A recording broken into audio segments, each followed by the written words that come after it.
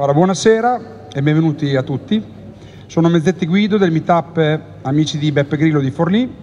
Questa serata è la quarta assemblea pubblica del Movimento in Ascolto che organizziamo in giro nei diversi quartieri di Forlì dove diamo la parola ai cittadini e prestiamo attenzione alle segnalazioni e ai suggerimenti mh, con, coinvolgendovi tutti su progetti e soluzioni che riguardano il proprio quartiere e la propria città. La democrazia partecipata del Movimento 5 Stelle prevede infatti un uso importante dell'ascolto e del dialogo con la cittadinanza. Questa sera siamo nel vostro quartiere, Malmissole, Poggio, San Giorgio, Barisano e Roncadello, dove è stato segnalato un problema che verrà introdotto dal nostro consigliere Daniele Vergini e poi discusso con voi per cercare di trovare una soluzione attraverso proposte alternative che verranno portate in Consiglio Comunale. Questa sera sono presenti, oltre al sottoscritto che modererà la serata, i, i due consiglieri del Movimento 5 Stelle, Daniele Virgili e Simone Benini, ma soprattutto questa sera siete presenti voi con la vostra partecipazione, i vostri interventi e le vostre domande. Prima di lasciare la parola a Daniele vorrei ringraziare personalmente a nome di tutto il Meetup e del Movimento 5 Stelle il signor Walter Casadei che ci ha offerto la possibilità di incontrarci tutti nella sua azienda. Grazie dell'ospitalità e grazie a tutti voi.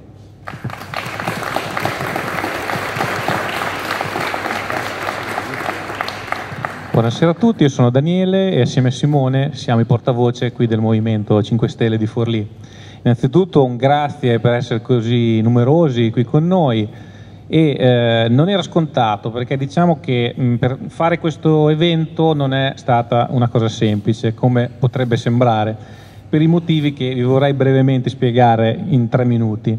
Innanzitutto la petizione sulla Casa della Speranza che sarà immagino l'argomento diciamo, principale della serata eh, quando è stata presentata questa petizione dalla signora Carla che intelligentemente l'ha indirizzata al Consiglio Comunale col fine diciamo, di creare un dibattito pubblico sull'argomento, questa petizione è inizialmente stata tenuta nascosta a noi consiglieri e ci è stata per così dire scippata dal sindaco che poi l'ha fatta gestire all'assessore Mosconi, che è l'assessore al welfare.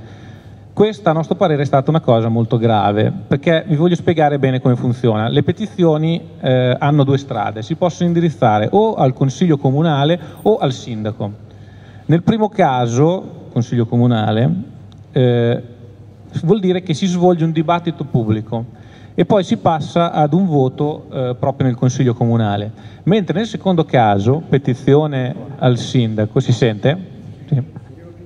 Nel secondo caso, petizione al sindaco, eh, la petizione viene gestita per così dire privatamente dal sindaco, senza necessariamente un dibattito pubblico. Quindi come immaginerete, a nostro parere è stato grave questo tentativo di occultare la petizione al dibattito pubblico, perché di fatto questo è successo. Non appena l'abbiamo scoperto, abbiamo protestato eh, in maniera molto forte, abbiamo rilasciato un comunicato stampa che eh, come avviene solitamente è stato fra virgolette un po' depotenziato perché è stato messo un trafiletto in basso sul fatto che la petizione era stata occultata e invece un bel intervistona a tutta pagina all'assessore Mosconi che spiegava la bontà del progetto. Diciamo che però eh, non è andata male perché comunque l'argomento è uscito, è uscito sui media, sui giornali e da quel momento diciamo, è, è stato sempre all'interno del dibattito pubblico nei giorni successivi, con voci sia pro con voce anche contro, come è giusto che sia in un pubblico dibattito. Quindi dopo le nostre insistenze, per così dire, hanno avuto effetto, il Comune alla fine ha ceduto e quindi la petizione è stata portata in carico al Consiglio Comunale e a breve si farà una commissione pubblica sulla questione e poi si passerà a un voto nel Consiglio e questo è un piccolo risultato molto importante. Poi contemporaneamente noi stavamo cercando anche di organizzare questo incontro, ma abbiamo avuto una serie di problemi. Come posto inizialmente dove svolgere questa assemblea avevamo individuato la sede del quartiere di Barisano che è sempre qui in via Trentola, un po' oltre, ma l'ufficio partecipazione del comune inizialmente ci ha chiuso le porte, dicendo che le sale del quartiere non vengono concesse a terzi, ma usate solo ed esclusivamente per le attività dei quartieri. E qui io ho il foglio con la risposta scritta, se qualcuno lo vuole vedere, di come eh, ha risposto l'ufficio dei quartieri. Io ve lo lascio se si può far girare, così vi fate un'idea. Noi ovviamente anche in questo caso abbiamo protestato, siamo 5 Stelle, protestiamo sempre, però abbiamo protestato perché abbiamo detto che se le bollette di, questi, di queste sedi dei quartieri le pagano i cittadini, è giusto che si dia spazio a un dibattito fra i cittadini. E quindi non è giusto che vengano negate a eh, persone che come noi rappresentano delle forze politiche qui della, della città. Questo li ha fatti di nuovo cedere, ci hanno concesso l'uso della sala e stavamo organizzando la cosa, però dopo poche ore riceviamo una telefonata sempre dall'assessore Mosconi che ci ricorda che la sala di quartiere di Barisano comunque in ogni caso non poteva contenere più di 25 persone.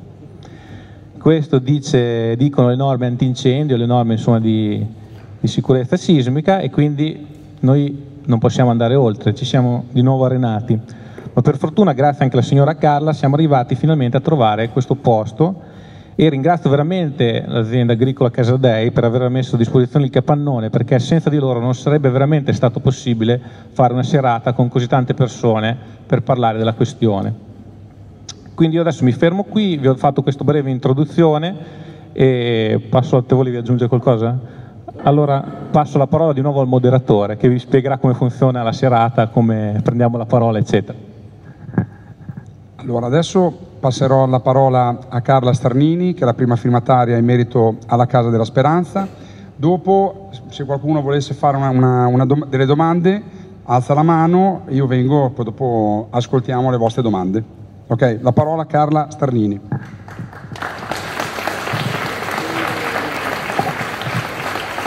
Buonasera a tutti, grazie per essere così tanti, mi fa piacere che il problema sia, sia sentito così da tante persone.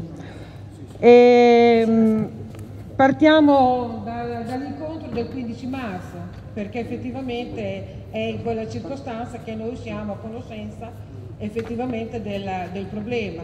Prima sapevamo solo per sentito dire, per sentito dire. Il 15 marzo abbiamo l'incontro dove dovrebbe essere una presentazione del progetto e invece a mio avviso è stato un'imposizione del progetto in quanto ci è stato spiegato così molto blanda la situazione com'era, in quanto hanno parlato del progetto eh, dell'APAC eh, che si svolge in Brasile, questo progetto e qui eh, in Italia eh, sono i primi tentativi che cercano di fare con i carcerati. Il problema è che loro non ci hanno detto né che tipo di pena devono scontare, né quanti sono. Quella sera non ci hanno detto assolutamente nulla di tutto ciò ci hanno fatto capire soltanto che la recidiva si abbassa e quindi è eh, eh, una cosa eh, giusta, fatta bene e meritava di essere portata avanti come, come progetto. L'unica cosa che secondo me non hanno eh, chiarito sino in fondo è che comunque ehm, al meeting di Rimini il 23 agosto, quando è stato presentato eh, questo progetto che eh, si fa in Brasile, anche, hanno anche detto, e, ed è stato riportato sulla stampa, che le condizioni indispensabili per aprire una um, struttura così eh, deve essere, eh, ci deve essere il coinvolgimento diretto delle comunità locali e dei magistrati. Allora io mi chiedo perché eh, imporci un progetto senza prima chiedere il parere nostro? Quella sera davanti alla domanda su 400 abitanti 300 dicono no, il responsabile della mm, comunità Papa Giovanni XXIII, eh, Meo Barberis, ha detto pubblicamente la canonica è della curia e noi andiamo avanti. Secondo voi questo è un progetto che va portato avanti in questo termine o i parrocchiani hanno diritto di essere a conoscenza del problema? Per me, eh, una volta finito l'incontro, eh, non c'è stato niente... Un, di, di, di, chiare, di, chiaro, non è stato chiarito niente. Quindi eh, cosa è successo? È che è successo che eh, io eh, subito nella, nell'incontro mi sono eh, rivolta al comitato perché il comitato non ci ha rappresentato come non ci rappresenta tuttora perché si è dichiarato neutrale da subito e nella sua neutralità ha fatto sì che noi non fossimo a conoscenza eh, di cosa stava accadendo nel nostro paese e alla domanda eh, perché non ci avete informato, perché non erano eh, a conoscenza del progetto e dovevano essere gli ideatori a portare avanti e a farlo conoscere al Paese. Dopodiché, finito questo incontro, eh, noi ci siamo rivolti più volte al comitato, abbiamo chiesto se era possibile fare un, una votazione, io direttamente sono andata dal mm, coordinatore chiedendo una, um, un referendum. Però è chiaro il referendum non si può fare, io questo l'ho saputo dopo in un secondo tempo, e lui mi ha detto che eh, si pensava di mettere due registri, uno in canonica e uno nel circolo, per i firmatari solo del no, chi non era d'accordo. Allora io ho detto così non va bene, a noi questo non va bene perché prima di tutto ci dicono che in casa loro fanno quello che vogliono. Alla riunione ci hanno detto così, ha detto questa è proprietà della curia e noi andiamo avanti. Quindi eh, perché dobbiamo andare lì, poi solo noi dobbiamo mettere un no, poi queste firme che fine fanno, dove vanno? Allora mi sono interessata con Bentivogli Ezio per eh, fare una raccolta firme, ma per essere sicura che arrivasse tutto in comune nelle dovute maniere ci siamo andati a informare, so, ho guardato su internet e insomma alla conclusione l'unica strada era una petizione eh, popolare indirizzata al Presidente del Consiglio e così siamo partiti. Sono partita in bicicletta. Giovedì pomeriggio eh, mi sono messa io in, in, discussione, ho detto provo, voglio vedere, voglio, voglio, capire se sono io che la penso solo così oppure se ce ne sono altri. Da giovedì pomeriggio alle 5 e mezza, lunedì eh, mattina 10 eh, aprile ho consegnato in comune ho protocollato 168 firme e 168 firme ho raccolto. E, mh, vi voglio però eh, ricordare che la petizione continua, la raccolta firme continua lì nel mm, eh, tavolo, eh, c'è la, la raccolta firme, se volete firmare lo potete fare tranquillamente. E mm, c'è stato anche detto, sempre tramite i giornali questo, perché noi dopo direttamente non abbiamo avuto più contatti con, né col comitato o quant'altro, c'è stato detto che eh, da dove vengono queste firme.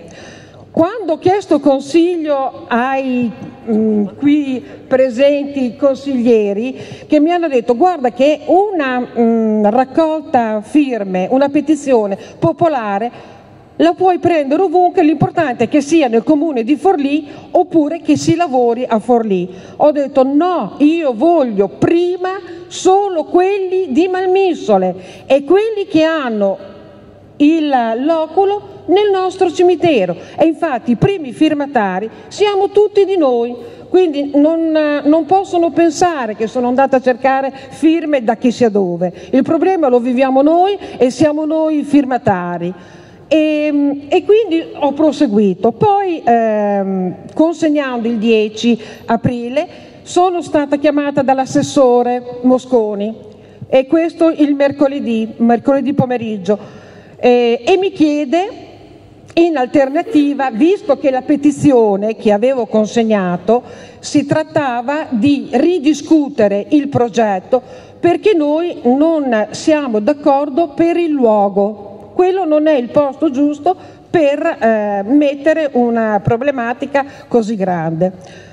L'assessore mi chiede le alternative. Io di alternative mh, dico che visto che la curia è in possesso di tanti poderi, se veramente è per opera dell'anno della misericordia, come ci è stato presentato subito il 15 marzo, ho detto se per questo motivo la, la Chiesa deve dare un segnale, non dobbiamo essere sempre noi dare, che ci dia un segnale? Mette a disposizione un suo podere, che sono tutti quanti in affitto, sono, li ha dati tutti in affitto alla Curia, prende un podere in accordo col comune, da, al mattino prende i carcerati, i detenuti, scusate, li porta sul posto di lavoro, li fa lavorare e alla sera tornano nella, nella, struttura, nella struttura.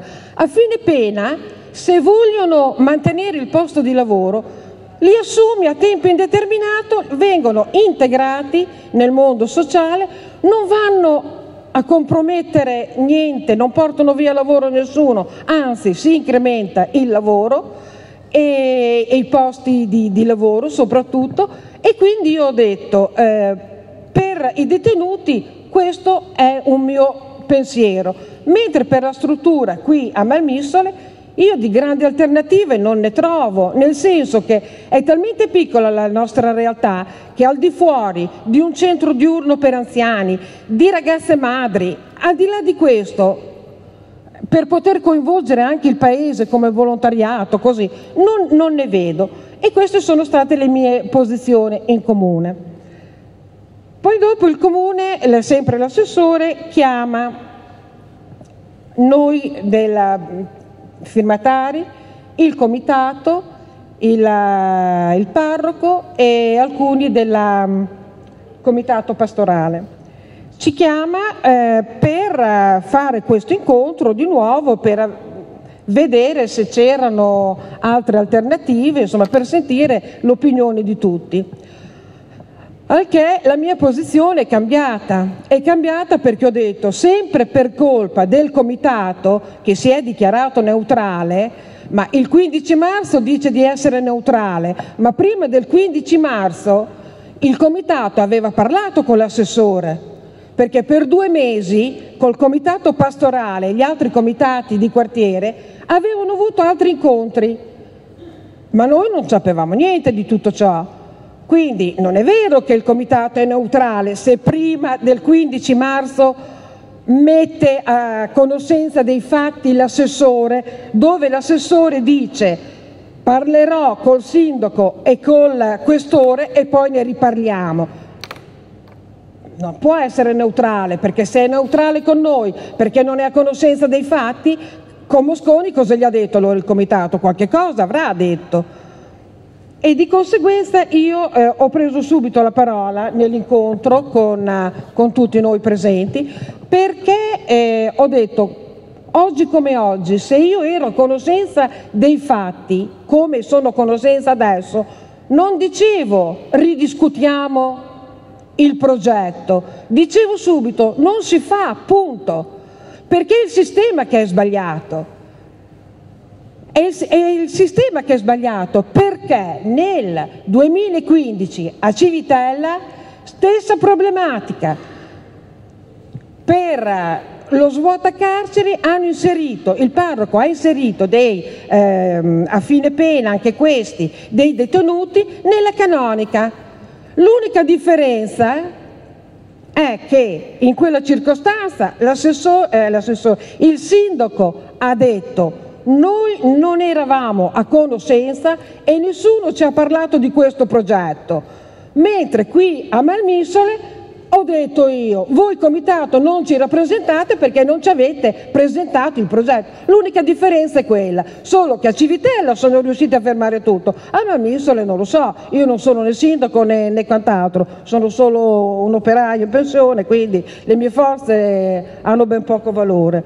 Però se nel 2015 già la Chiesa si è impostata così, a San Ludicio c'è una struttura che funziona, possiamo avere tante opinioni diverse, ma c'è una struttura con eh, bestiame, terreno, eh, caseificio e quindi funziona. Quando si sono presi, hanno tentato di prendere possesso anche di una canonica lì nei pressi, i cittadini hanno detto no, basta, là può andare bene, ma la canonica che è nel centro del paese, quella la lasciate stare.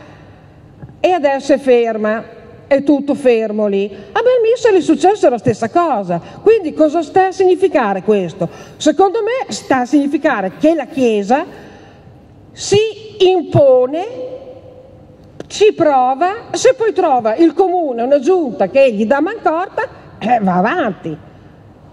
E, e questo è un dato di fatto, perché dove si sono fermati? Si sono fermati perché il sindaco ha detto no, perché a Saludecio il paese si è imposto con forza e ha detto no.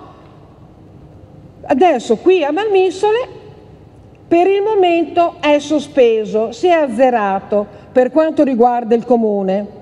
Il comune ha azzerato tutto chiedendo un prossimo incontro dove eh, ci saranno soltanto le autorità la Chiesa non è eh, partecipe a questo nuovo incontro. Non so se questo incontro sarà eh, per convincere noi che non dobbiamo avere paura, che sono sicuri, che, che, che non c'è da aver timore e, e, tutte queste cose. Io cosa ci diranno non lo so, però ci, dov- ci dovrebbe essere la direttrice del carcere, il questore, l'assessore e, la, il Presidente del Consiglio. Per quanto ne so dovremo aspettare questo, questo incontro. L'unica cosa che mh, mm, mi lascia perplesso è eh, questo battibecchi continui che noi eh, dobbiamo riscontrarci sui giornali. Anche oggi eh, ci siamo ritrovati con delle accuse che a mio avviso sono un po', un po troppo forti da, da parte di, di, un prete, perché se veramente eh, qualcuno dei nostri firmatari ha insultato o ha, ha messo frasi fuori luogo, io vorrei eh, che Donnino mi avesse chiamato e mi avesse detto questa persona eh, si è comportata così nei nostri confronti perché altrimenti non ha senso. Non siamo noi che buttiamo il sassolino nel lago e, e poi dopo ci tiriamo indietro. Noi non dobbiamo fare i nomi, perché noi non abbiamo accusato nessuno, noi abbiamo detto soltanto che volevamo essere informati. Per tre mesi hanno lavorato senza farci sapere niente e questo è grave.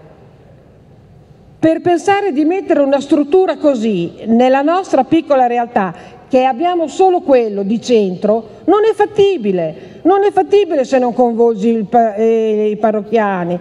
Quando l'8 maggio a nome dell'assessore ha voluto un incontro eh, solo fra noi del No, il comitato di quartiere e il parroco per vedere se c'era un, un incontro eh, di, di, di opinioni eh, positive fra di noi, eh, è stato un cercare di convincere loro, al loro progetto, al che eh, eh, si è azzerato tutto di nuovo perché noi non cambiamo posizione, anzi con Donnino ho detto quando ci, ci, sono delle lacerazioni così in un piccolo paese, in una piccola realtà, dove a un saluto uno si rivolge dicendo io saluto solo le persone intelligenti, vuol dire che è grave la cosa.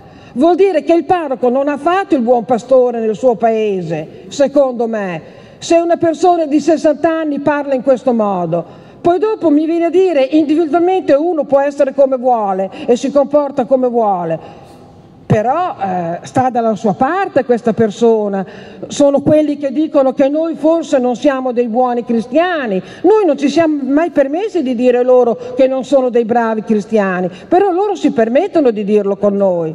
E questo è grave secondo me, questo è grave. Non possiamo continuare sempre ad accettare essere considerati diversi non prendere in considerazione neanche quello che dici perché non, non, la pensi come loro. Ci dobbiamo ritrovare così in una piccola realtà, figuriamoci allora, eh, allora è tutto normale, in una Roma, in una Milano, quando uno boom, spara, eh, è tutto normale, è tutto. Io dico che questo non è normale. E quando ho detto con Donnino, quando vai a dividere un paese così, che non conosci i parrocchiani, ma si frantuma il paese, vuol dire che il progetto, in qualsiasi modo finisca, è un progetto che è fallito, perché abbiamo fallito noi, abbiamo fallito. È questo che è grave, è questo che loro non vogliono capire. Il nostro no non è perché abbiamo paura, abbiamo paura di tutti, abbiamo paura anche della persona accanto se ci insulta. Non è quello, è il principio che è sbagliato, solo che non puoi dirlo, non puoi dire queste cose perché sei una cattiva cristiana. È questo che ci vengono a dire. E questo è grave, secondo me. E c'è una cosa che voglio precisare. Siccome il comitato è neutrale, il comitato è sempre stato neutrale, però la Brusur, guarda caso, chi l'ha mandata? Uno del comitato del quartiere, che fa parte del comitato del quartiere e del comitato pastorale, quindi va bene tutto, va bene, però il comitato è neutrale. Nella brusur che viene mandata, che noi veniamo a conoscenza proprio che ci sono 15 posti letto, di cui 13 per eh, i detenuti e due per gli operatori, a fine dell'opuscolo c'è scritto la società può e deve coinvolgersi nel recupero dell'uomo che sbaglia. La CEC è un'alternativa concreta all'attuale sistema carcerario, costoso e inumano, inefficiente e degradante, ma scusatemi un po', ma se io sono il direttore di un carcere e vado a leggere una cosa così, non mi vado a ribellare? Cosa sto lì a fare allora se non, se non mi sentono in grado, se non capiscono che sono in grado di fare il mio lavoro? E loro se lo possono permettere di dire così. Se noi ci permettiamo di dire che non siamo d'accordo a questo progetto per come è stato impostato, siamo dei cattivi cristiani. Questo ci viene detto. Ho concluso, grazie. Chiedo scusa ma è la prima volta che mi trovo davanti a parlare tanta gente. Grazie Carla. Bene, siamo nel momento delle domande. Se volete mm, alzate la mano avete la possibilità di fare le domande al, ai nostri consiglieri eventualmente. Prego.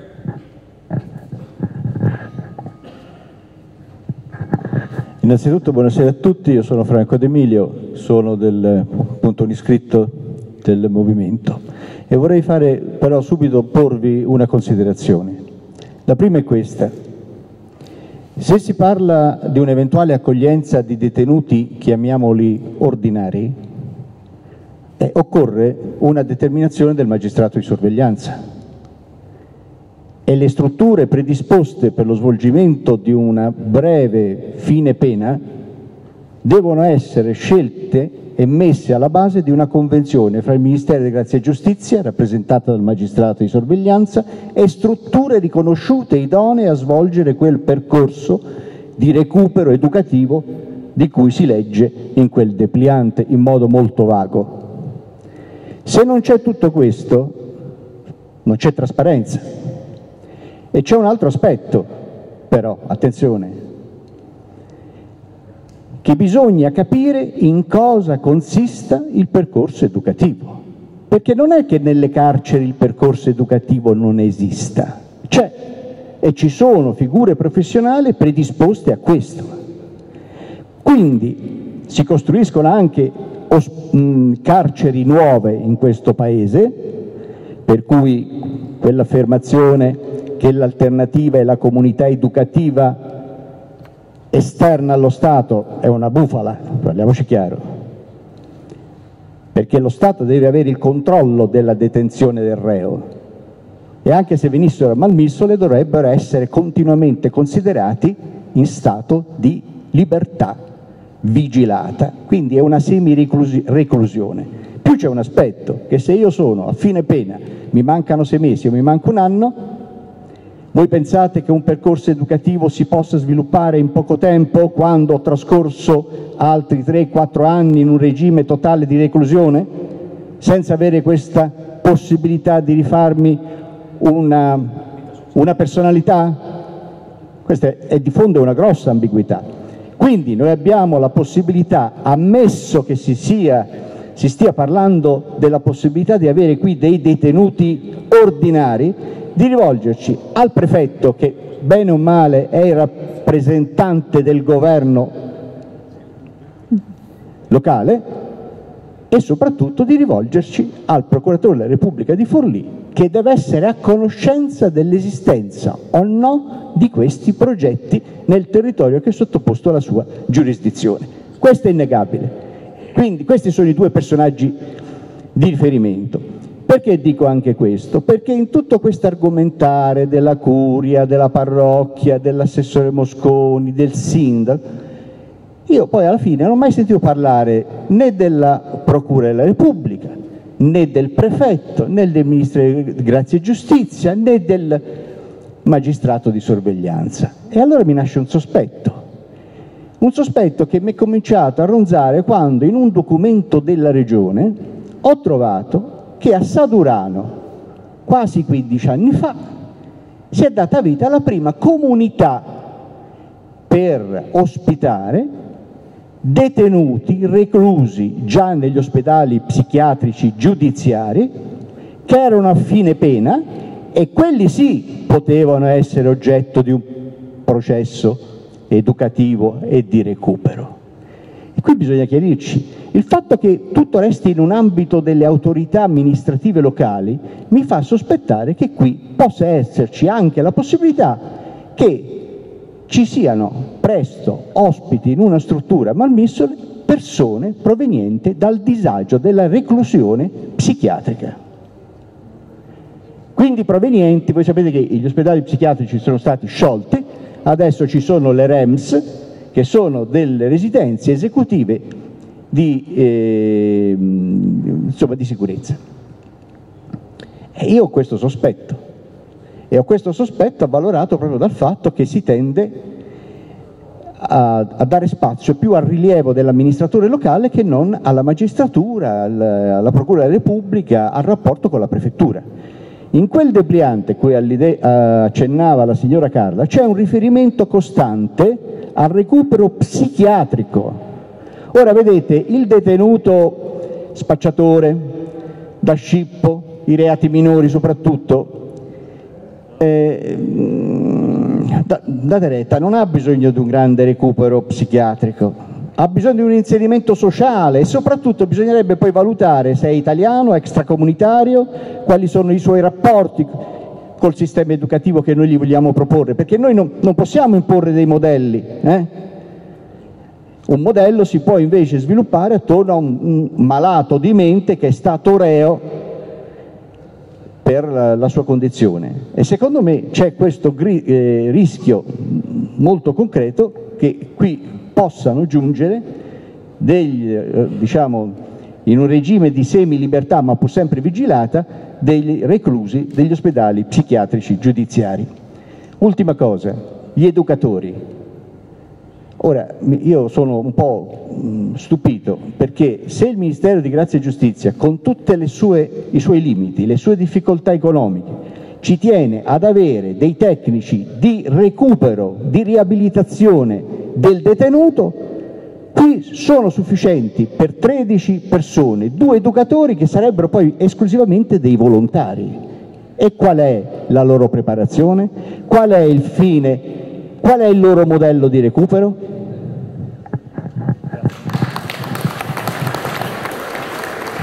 Grazie.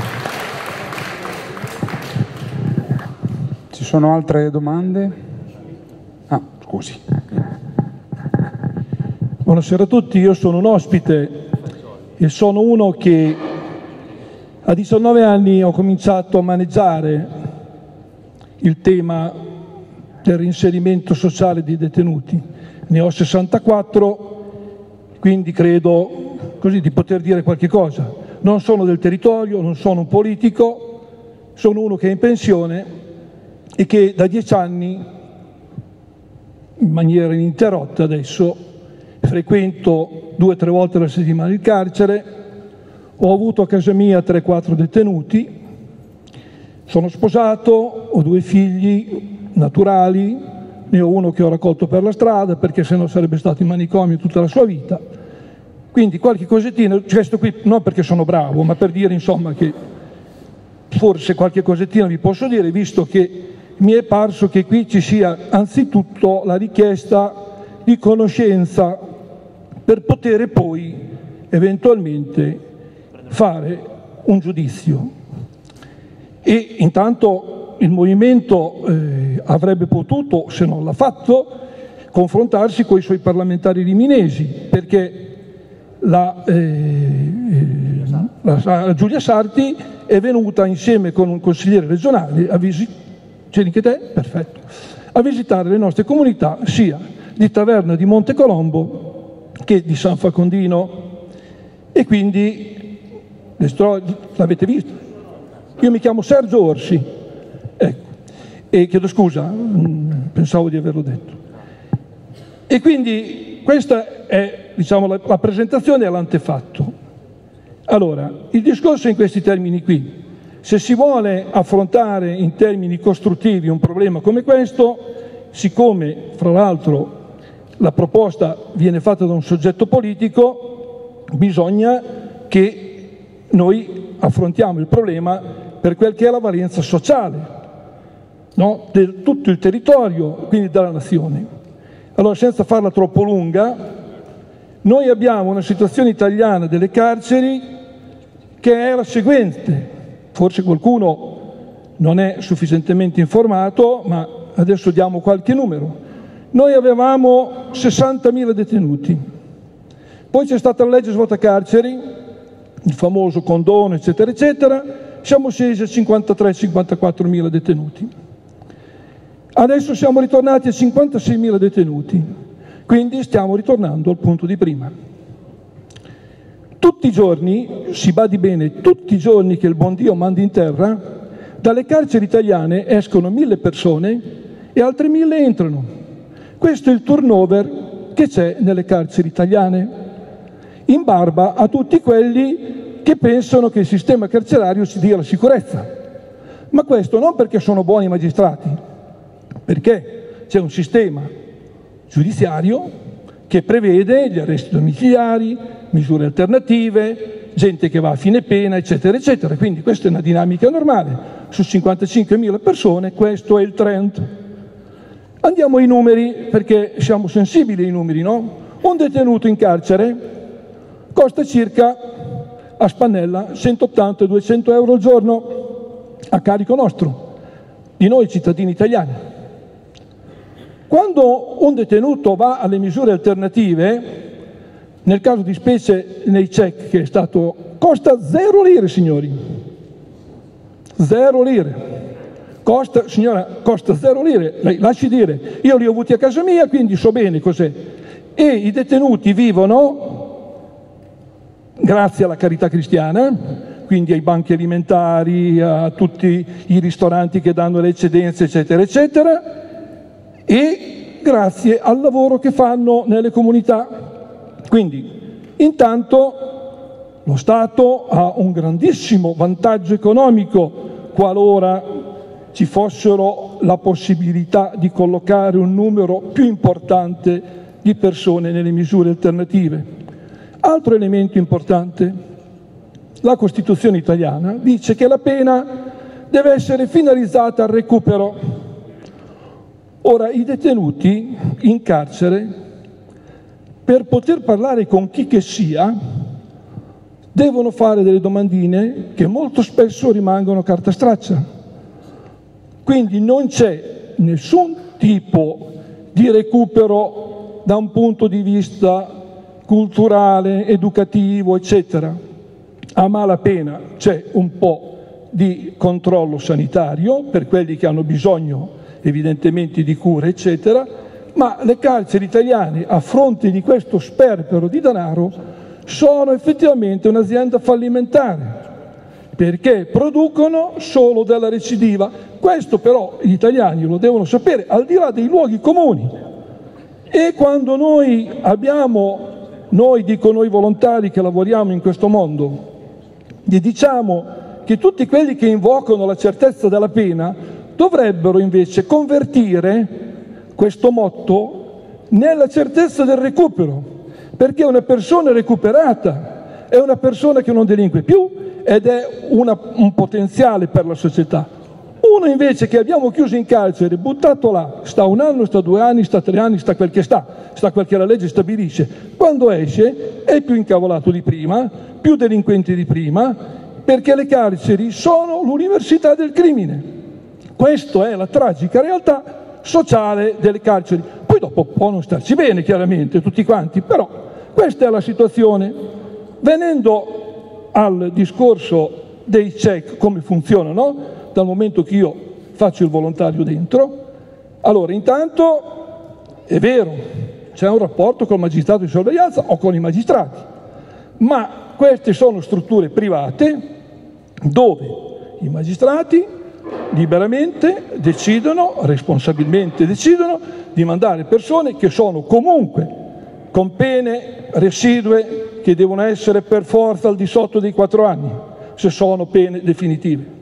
Se sono invece ancora imputati o giudicabili, siccome ancora non è definita la pena, quindi potrebbe succedere che capita anche che vadano persone con pene maggiori, salvo che quando arriva la pena definitiva conclamata le persone tornano in carcere. Quindi questo per fare chiarezza su chi eventualmente può accedere a queste strutture. E non è che ci siano convenzioni, le convenzioni ci sono là dove c'è un do des, cioè quando uno viene dato qualcosa, io ti do un beneficio in cambio di un servizio.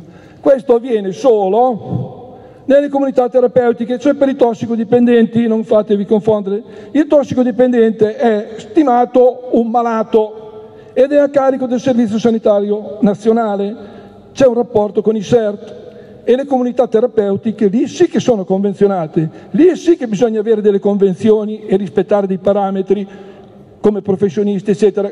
Un'altra storia, un altro mondo eh, di cui non saprei bene neanche cosa dirvi, ma quello è un altro mondo, non stiamo parlando di questo. Le comunità educanti per carcerati che derivano dall'APAC brasiliano sono quelle di cui stavo parlando adesso.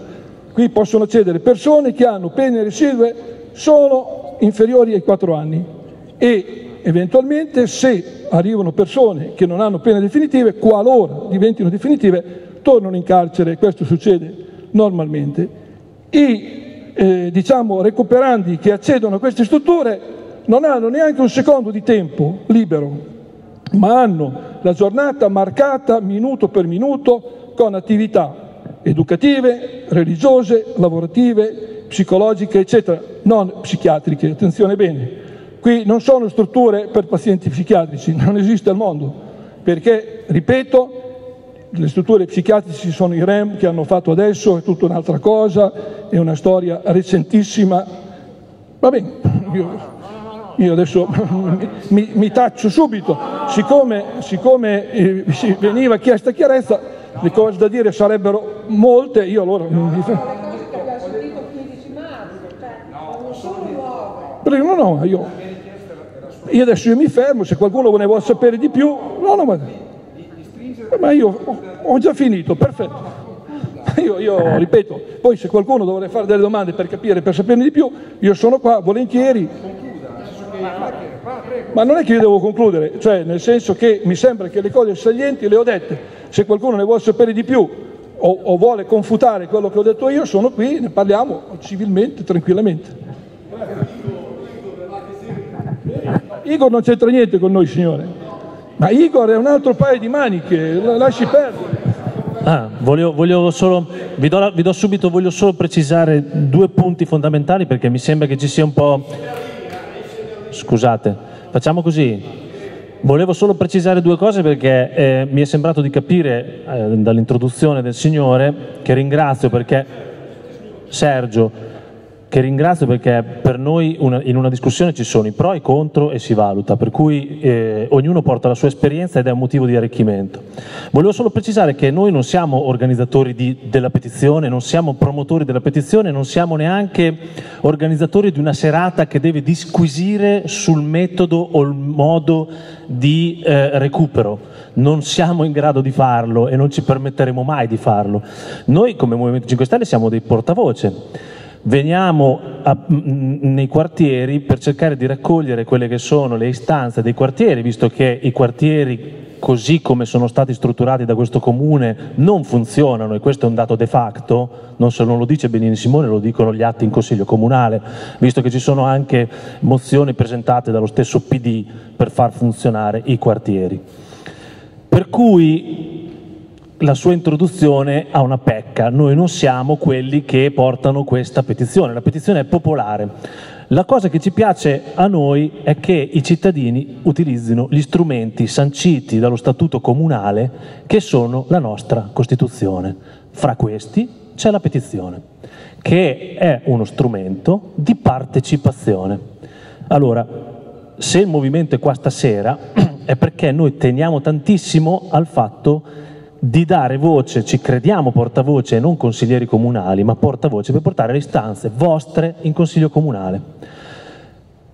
Il giudizio sul metodo di recupero non lo può dare Benini Simone, la Carla o Daniele Vergini o qualsiasi altro componente del meetup, perché quei metodi vengono scelti da persone che sanno fare quel lavoro.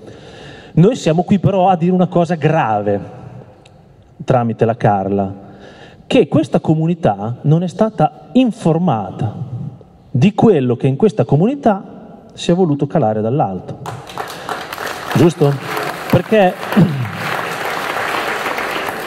se la signora Carla ha raccolto 160 firme ed è arrivata, penso, sulle 300, 400, quasi 500 firme di malmissolesi e, e e, e, e le cinque eh, diciamo, eh, eh, frazioncine qui attorno, vuol dire che forse l'informazione che lei ha non c'è stata o non c'è stata la divulgazione in questa comunità. E badi bene, come ha sottolineato anche l'intervento precedente, per integrare un metodo in una comunità, forse la comunità deve essere coinvolta. Ecco, questo è quello che il movimento è qui a fare a farvi capire che la comunità deve essere coinvolta. Questi metodi che noi abbiamo trovato nei giornali sono stati sistematicamente proposti in questa maniera, ovvero a decisione fatta, presa, si comunica alla popolazione che deve accettare passivamente, è ora di basta. Eh? Perché questo a livello politico io mi permetto di dirlo perché noi siamo proprio entrati in politica per questo. Basta. È ora di basta. Quindi volevo sottolineare soprattutto il fatto che noi siamo uno strumento. Adesso ci sono Benini e Vergini che porta, fanno il portavoce, domani ci saranno a qualcuno di voi, spero che voglia venire a metterci la faccia, come ha fatto la Carla. Lei ci ha messo il suo tempo, la sua faccia la sua voglia di portare avanti una cosa ed, è, ed ha coinvolto la sua comunità in un problema che riguarda la sua comunità ed e l'ha portato ai vertici in discussione in consiglio. E sapete una cosa?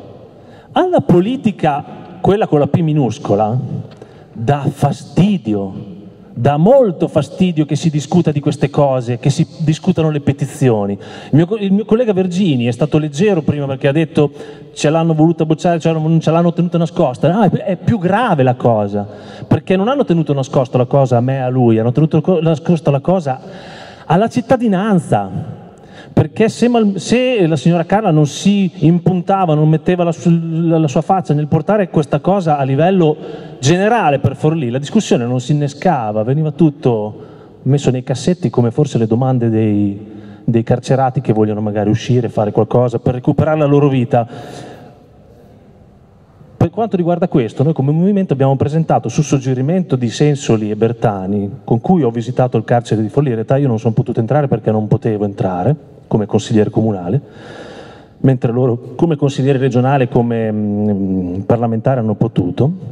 Quindi abbiamo fatto una visita ispettiva e nella visita ispettiva è venuto fuori che il carcere di Forlì ha dei problemi enormi, che non sono tanto di organizzazione, ma sono problemi enormi di spazi, di personale e di struttura fatiscente. Noi abbiamo un castello stupendo Forlì, che ha una storia non indifferente, e è un carcere. Cioè, questa è, dire, è la botta bestiale che diamo al nostro turismo. No? Avremo un posto turisticamente attrattivo, visto che i castelli vanno, ci sono i percorsi, i castelli, e noi non lo usiamo, no? ci mettiamo dentro i detenuti che ci costano un occhio della testa, che non vengono recuperati socialmente siamo costretti a fare gli svuotacarceri, perché i carceri li costruiscono e poi, qui lo dico e qui lo nego, sono da ricostruire perché hanno il cemento che non è in misura sufficiente eh, al, al, al, ferro utilizzato, per cui molte strutture sono da rifare. Abbiamo un carcere in costruzione nel quartiere 4, eh, molto, doveva essere all'avanguardia, ma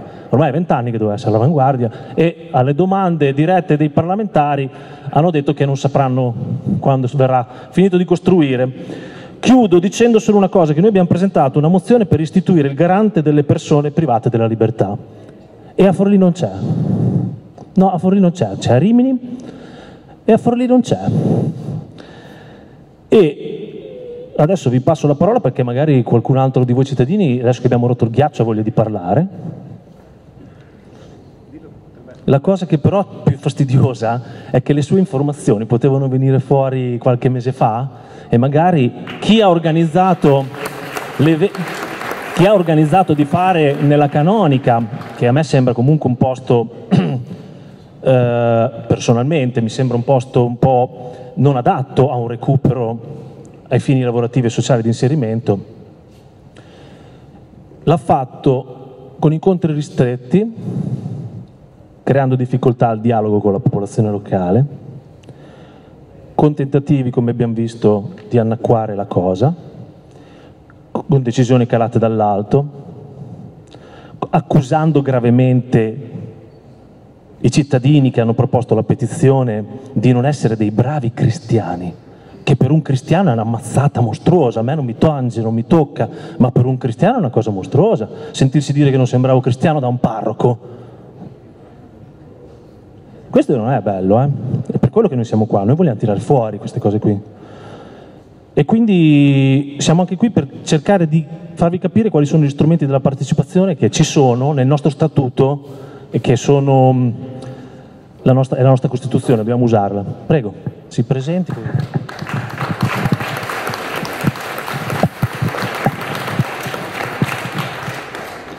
Buonasera, io mi chiamo Domenico Mengozzi e diciamo che sono quello che tiene calmo i ragazzi della petizione, perché diciamo la parte calma della petizione.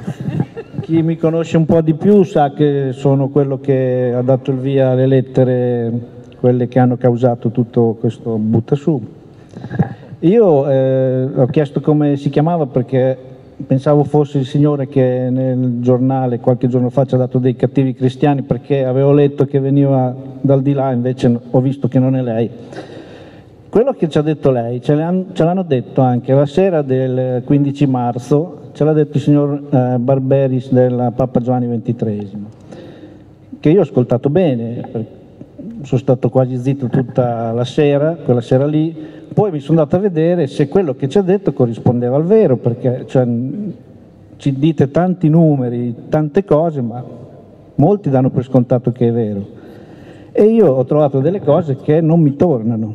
Voi dite che il detenuto costa sui 200 euro al giorno e che eh, dando il via al vostro progetto lo Stato eh, risparmierebbe quei soldi lì. Voi avete detto più volte, sia il signor Barberis che lei, ma non corrisponde al vero. Io sono andato a vedere eh, su internet e ho tirato giù un foglio del Ministero della Giustizia, ci vuole glielo leggo. Quanto costa il sistema penitenziario italiano? È, eh, diciamo così, rapportato fino al 2013 perché in Italia ci mettono un po' a fare tutte queste valutazioni. Comunque nel 2013 il Dipartimento per l'amministrazione penitenziaria ha speso circa 124 euro al giorno per ogni detenuto. Di questi solo 9,26 euro, il 75%, sono serviti a mantenere i detenuti. Quindi lo Stato risparmierebbe solo 9,26 euro. Adesso le spiego perché. Uno sguardo alle varie voci che compongono la spesa per le carceri e al suo andamento nel tempo. Tra il 2001 e il 2013 il costo medio dell'amministrazione penitenziaria è stato di circa 2,8 miliardi all'anno. Questa cifra è composta da costi fissi, tra i quali la manutenzione delle carceri e le spese per il personale, e da costi variabili, come il mantenimento dei detenuti, che sarebbe quello che risparmierebbe lo Stato il cui numero può cambiare di anno in anno. Osservando il costo giornaliero per ogni carcerato si nota che è stato costantemente contenuto tra i 100 e i 130 euro, anche se Barberis nel giornale ha sparato 300 euro giornalieri. Fanno eccezione gli anni immediatamente successivi all'indulto 2006, come ha detto lei, dove è schizzato fino a 190 euro in conseguenza della riduzione della popolazione carceraria. Perché? Perché se i carcerati diminuiscono, i costi fissi sono sempre quelli, lei mi insegna che... Nel 2013 lo Stato italiano ha speso circa 124 euro al giorno per ogni detenuto, un costo che si compone di molte voci diverse che possiamo analizzare nel dettaglio. Eh, analizzando come sono composti i 123,78 euro al giorno che lo Stato ha speso per ogni detenuto nel 2013, osserviamo che la stragrande maggioranza delle spese è servita per pagare il personale. Personale che se togliamo dei detenuti dal carcere non è che viene licenziato, fa parte dei costi fissi. Si tratta di quasi 102 euro pari a più dell'82%, che questi non vengono risparmiati Trattandosi di un costo fisso, questa quota di spesa è aumentata rispetto agli anni precedenti come conseguenza della riduzione del sovraffollamento. Quindi la spesa per il mantenimento dei detenuti, invece, variabile in funzione del loro numero, vale 9,26 euro al giorno per ogni carcerato, in altri termini solo il 7,5 del bilancio dell'amministrazione penitenziaria. Serve a mantenere i detenuti. Poi qui parla delle spese per i beni, i servizi, che sono quisquiglie. Quindi perché ci volete prendere in giro anche con questi numeri? Se uno si presenta e vuole presentare un progetto, cioè non deve prendere in giro la gente. Perché voi dite che lo Stato ci fate sentire in colpa se voi non appoggiate questo progetto, siete anche, non capite che è una risorsa per lo Stato? Perché io poi mi sono fatto delle altre domande. Siccome il signor Barberis ha detto che la sicurezza sarebbe aumentata qui perché passerebbe una pattuglia di carabinieri una o due volte al giorno se ci fossero dei carcerati. Nella prossima riunione che faremo in comune, una delle mie domande sarà quanto costa un'ora di una pattuglia dei... Dopo pure che non si... scusa, non sono abituato.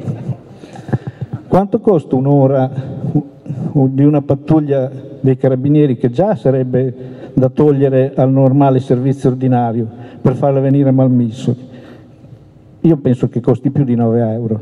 Quindi dovete dire che portare fuori i carcerati da, dalla prigione e metterli qua sarebbe un aggravio per i cittadini, non un risparmio. Voi dovete dire queste cose. Lei dice di no. Guardi che questo è un documento del Ministero di Grazia e Giustizia, non è che me lo sto inventando io. Non, non è così secondo lei? Ah, questo però non l'avete mai detto. Voi, voi, voi, volete dire solo le cose che pensate che vi facciano comodo, che la gente deve credere. Anche la storia della recidiva sarà sicuramente vero, perché io non metto in dubbio il vostro operato, però, cioè, va bene, io ho un'idea che quando ci raccontano dei numeri è un po' come fare i sondaggi, eh, che uno può dire un po' quello che vuole, perché l'ho detto anche con Donnino, gli ho fatto un sondaggio per far capire come funzionano i sondaggi. A Donnino gli ho chiesto, scusi Donnino, quando io fumo posso pregare? E lui mi ha detto, ma certo. E poi gli ho fatto la stessa domanda invertita, gli ho detto ma quando prego posso fumare? E lui mi ha detto eh, no, sarebbe, cioè, è la stessa domanda. E le recidive per me, cioè questi numeri che voi portate a mo' di percentuali, sono un po' una cosa simile perché le possiamo anche un po' ribaltare, perché se in carcere il 70% ha delle recidive, io non so, quelli che portano fuori, immagino che li vadano a scegliere fra i più tranquilli, i più buoni, mi viene da pensare, e anzi spero che li scelgano fra il 30% che forse non avrebbe delle recidive, o mi sbaglio, o li vanno a scegliere tra i più pericolosi. Se li scelgono fra il 30% che poi non avrà di recidive, quando esce da questo progetto il 10% invece avrà delle recidive, allora cioè anche quasi controproducente. Cioè dipende come girate la frittata. Allora io mi sono anche chiesto, ma se questo signore che ci ha detto queste cose ci voleva prendere in giro o le ha dette perché sapeva di prenderci in giro? Perché se ci voleva prendere in giro, secondo me è la cosa preoccupante, perché diamo in progetti in mano a una persona che è in malafede. Se le ha dette perché non le sapeva o non si era documentato, mi fa ancora più paura, perché diamo in mano un progetto a una persona che è incompetente. Ed è anche per questo che noi siamo arrabbiati, siamo arrabbiati perché ci siamo sentiti presi in giro, lasciamo stare tutte le storie di quartiere, il comitato non ci ha aiutato, il comitato ha detto che era neutrale, poi invece ha tentato con due o tre delle loro persone di convincerci che il progetto era una cosa buona, però quando uno di un'associazione ti accorgi, almeno io ho avuto quel sentore lì, che ti vuole prendere in giro, eh, per me è già fallito tutto, io non lo ascolto più.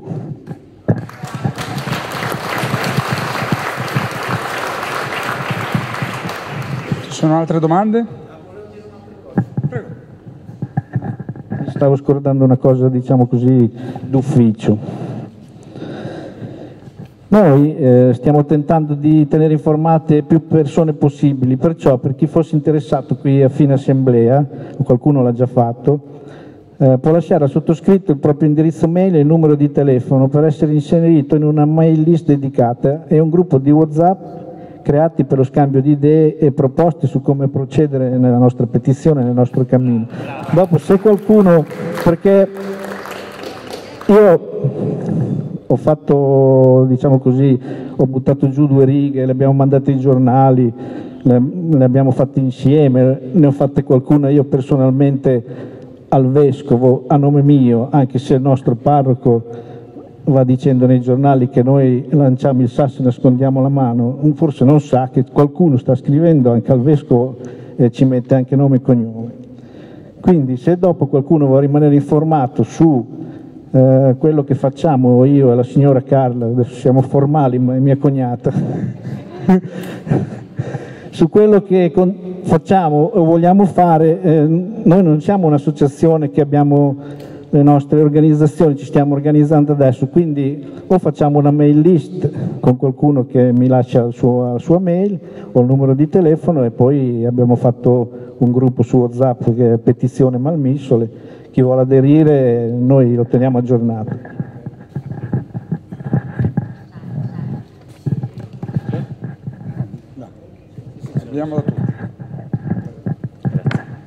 Eh, buonasera, io mi chiamo Daniele Severi, eh, abito qui a Villafranca, quindi vicino a voi. E mm, faccio parte da circa 30 anni insieme a mia moglie della comunità Papa Giovanni XXIII, abbiamo otto figli, quattro sono nostri, quattro sono in affido e adottati. E siccome sono il responsabile per la Papa Giovanni nella zona Romagna, quando mi è stato chiesto di questo progetto, la prima cosa che abbiamo fatto è stata quella di dire questo progetto ha senso nella misura che c'è un territorio che se lo fa proprio.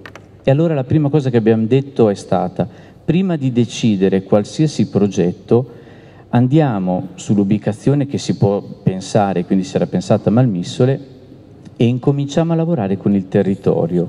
Questo era il chiodo fisso della comunità Papa Giovanni, non abbiamo altro. E poi vi posso spiegare perché sono state molte inesattezze dette, nel senso che sono stati fatti diversi incontri, ho le date, vi posso anche raccontare bene. Però, no aspetti, ah no, allora se me lo dice glielo, glielo rispiego. Allora, le dico, guardi, il 5 dicembre e abbiamo scelto di farlo subito la richiesta di incontrare i rappresentanti dei comitati di quartieri alle ACLI di Malmissole abbiamo incontrato i, eh, i, comitati di quartiere e abbiamo raccontato e spiegato che cos'era l'idea, che cos'era l'idea del CEC.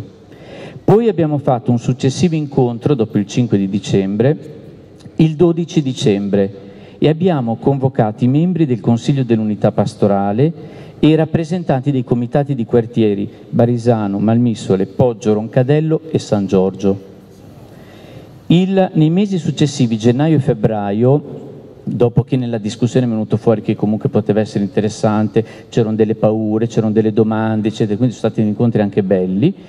Il mese di gennaio e di febbraio noi abbiamo cercato di capire, noi dico Papa Giovanni, Caritas, che ci aiutano in questo progetto, capire la forma, come fare, come organizzare, che cos'è per poi arrivare di nuovo a un altro incontro per ripresentare bene il progetto a febbraio ed è stato fatto il 13 febbraio un altro incontro sempre con il quartiere, comitati, i promotori dei comitati di quartiere e successivamente il 15 marzo che faceva menzione la signora Carla. Però io voglio dire questo, quindi ci sono stati fatti ampiamente incontri, il 15 marzo è stata fatta eh, ampiamente pubblicizzata ed era aperta. Allora io voglio capire cos'è che non ha funzionato in questo qui, ma perché davvero non è che noi dobbiamo tirare l'acqua al nostro mulino, ma perché per capire. Intanto io vi dico che questa sera mentre vi ascoltavo, io vi capisco perché mi è successa una cosa simile. Noi abbiamo aperto un piccolo villaggio eh, qui a Villafranca dove accogliamo delle famiglie e finché accogli una mamma con un bambino co- tutto carino va bene. Ci è arrivata la proposta di accogliere mamma zingara, babbo zingaro e cinque figli zingari, il babbo con più volte con recidiva anche del carcere. Ho avuto paura perché noi li accogliamo in casa nostra, i miei figli non volevano questa famiglia lì vicino a casa perché hanno incominciato a dire ci ruberanno i giochi, i più piccolini, entreranno in casa che non ce ne accorgiamo, ci possono fare del male e quindi veramente io capisco quello che voi dite questa sera, perché anch'io ho avuto paura e anch'io di fronte a questa situazione mi sono chiesto che cosa fare. Non avevano documenti, quindi noi non li conoscevamo davvero perché venivano poi tra l'altro da un'altra città. Abbiamo scelto con molta paura di prenderli, di accoglierli in casa e questa sera sono venuto via, mia figlia era a cena da loro, dalla famiglia Zingara che è lì di fianco e chiaramente i bimbi giocano, abbiamo regolarizzato il padre, sta lavorando, abbiamo un lavoro di un anno. Però la cosa che mi ha colpito è intanto che questi bambini non hanno rubato niente, il padre non ha rubato niente in giro nel quartiere, eh, chiedono tutte le cose, ma ho capito che loro lo fanno non perché sono improvvisamente diventati bravi, ma perché noi li abbiamo messi nelle condizioni di poter fare questo cambiamento. Quindi abbiamo potuto dare casa, alloggio, vitto, scuola per i figli, lavoro, regolarizzazione dei permessi, una roba che ci è costata una barca di soldi perché chiaramente non c'era un servizio, non c'era niente dietro. Allora questo mi fa pensare sul fatto che anche noi siamo d'accordo sul fatto che i carcerati devono avere la certezza della pena, però diciamo anche che ci deve essere la certezza del recupero, allora il fatto che noi diciamo e abbiamo l'esperienza che le case stanno funzionando e i ragazzi che escono sono ragazzi che sono maturati, che sono diversi, che sono capaci di vivere, ma questo è una cosa molto bella. Concludo dicendo che il motivo per cui ho scelto quella famiglia zingara non era per me, perché a me mi, creava dei problemi il motivo è stato per i miei figli, ho pensato a loro, al fatto che accogliere loro, questa famiglia zingara, davo la possibilità ai miei figli di capire che è possibile un mondo tra diversi, che è possibile il dialogo, che è possibile che anche che se qualcuno sbaglia può avere l'opportunità di recuperare. Noi come Papa Giovanni abbiamo delle esperienze molto positive in questo, quindi non abbiamo dei motivi per dire che fare questa casa vicino a un cimitero o vicino a un bar o vicino a delle abitazioni civili, questo può creare dei precedenti. Vi ripeto, noi li abbiamo in casa, Ma però questo vi voglio dire anche per allargare, voi sapete che qui attorno ci sono circa 100 ragazzi tossicodipendenti, abbiamo una comunità a Durazzanino, a Durazzano, a Fornò, tutte da questa parte qua, e a Villafranca. Allora, quattro comunità terapeutiche. Avete mai sentito sul giornale qualche fatto? Ragazzi che ci arrivano alla metà anche dal carcere, ma ragazzi che si sono recuperati, ragazzi che sono diplomati, laureati, che hanno, si sono ricongiunti con le famiglie, quindi abbiamo un, una marea di storie. Mi piacerebbe, questo lo dico anche col comitato e rinnovo la nostra piena disponibilità a dire noi ci siamo, qualsiasi cosa avete, volete chiedere, ci sono dei dubbi, eccetera, noi siamo qua e ben volentieri siamo qui per dialogare, poi chiaramente ognuno può tenere la propria opinione, insomma.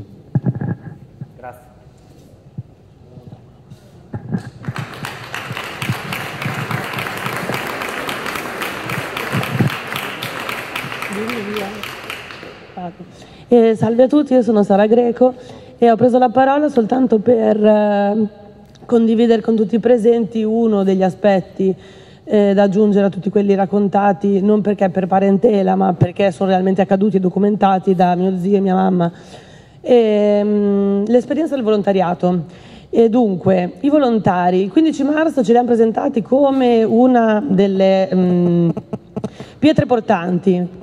Bene, io ho partecipato a eh, processo iniziato il 24 marzo, ce n'è stato un secondo, a distanza più o meno di un mese, e al terzo solamente io e una e un'altra e le uniche che non abbiamo esperienze precedenti con eh, coloro che eh, siedono al tavolo dei volontari, eh, quindi che si sono aggiunte del luogo, mh, mm, ci siamo ritrovate al luogo del ritrovo senza nessuno. Insomma, chiedendo, eh, siamo ancora là che dobbiamo aspettare perché il giorno e l'ora del dell'incontro non abbiamo trovato nessuno. Ora per carità, eh, noi abbiamo mandato una mail, questa mail non ha avuto una risposta e io penso che possa bastare questo. Grazie.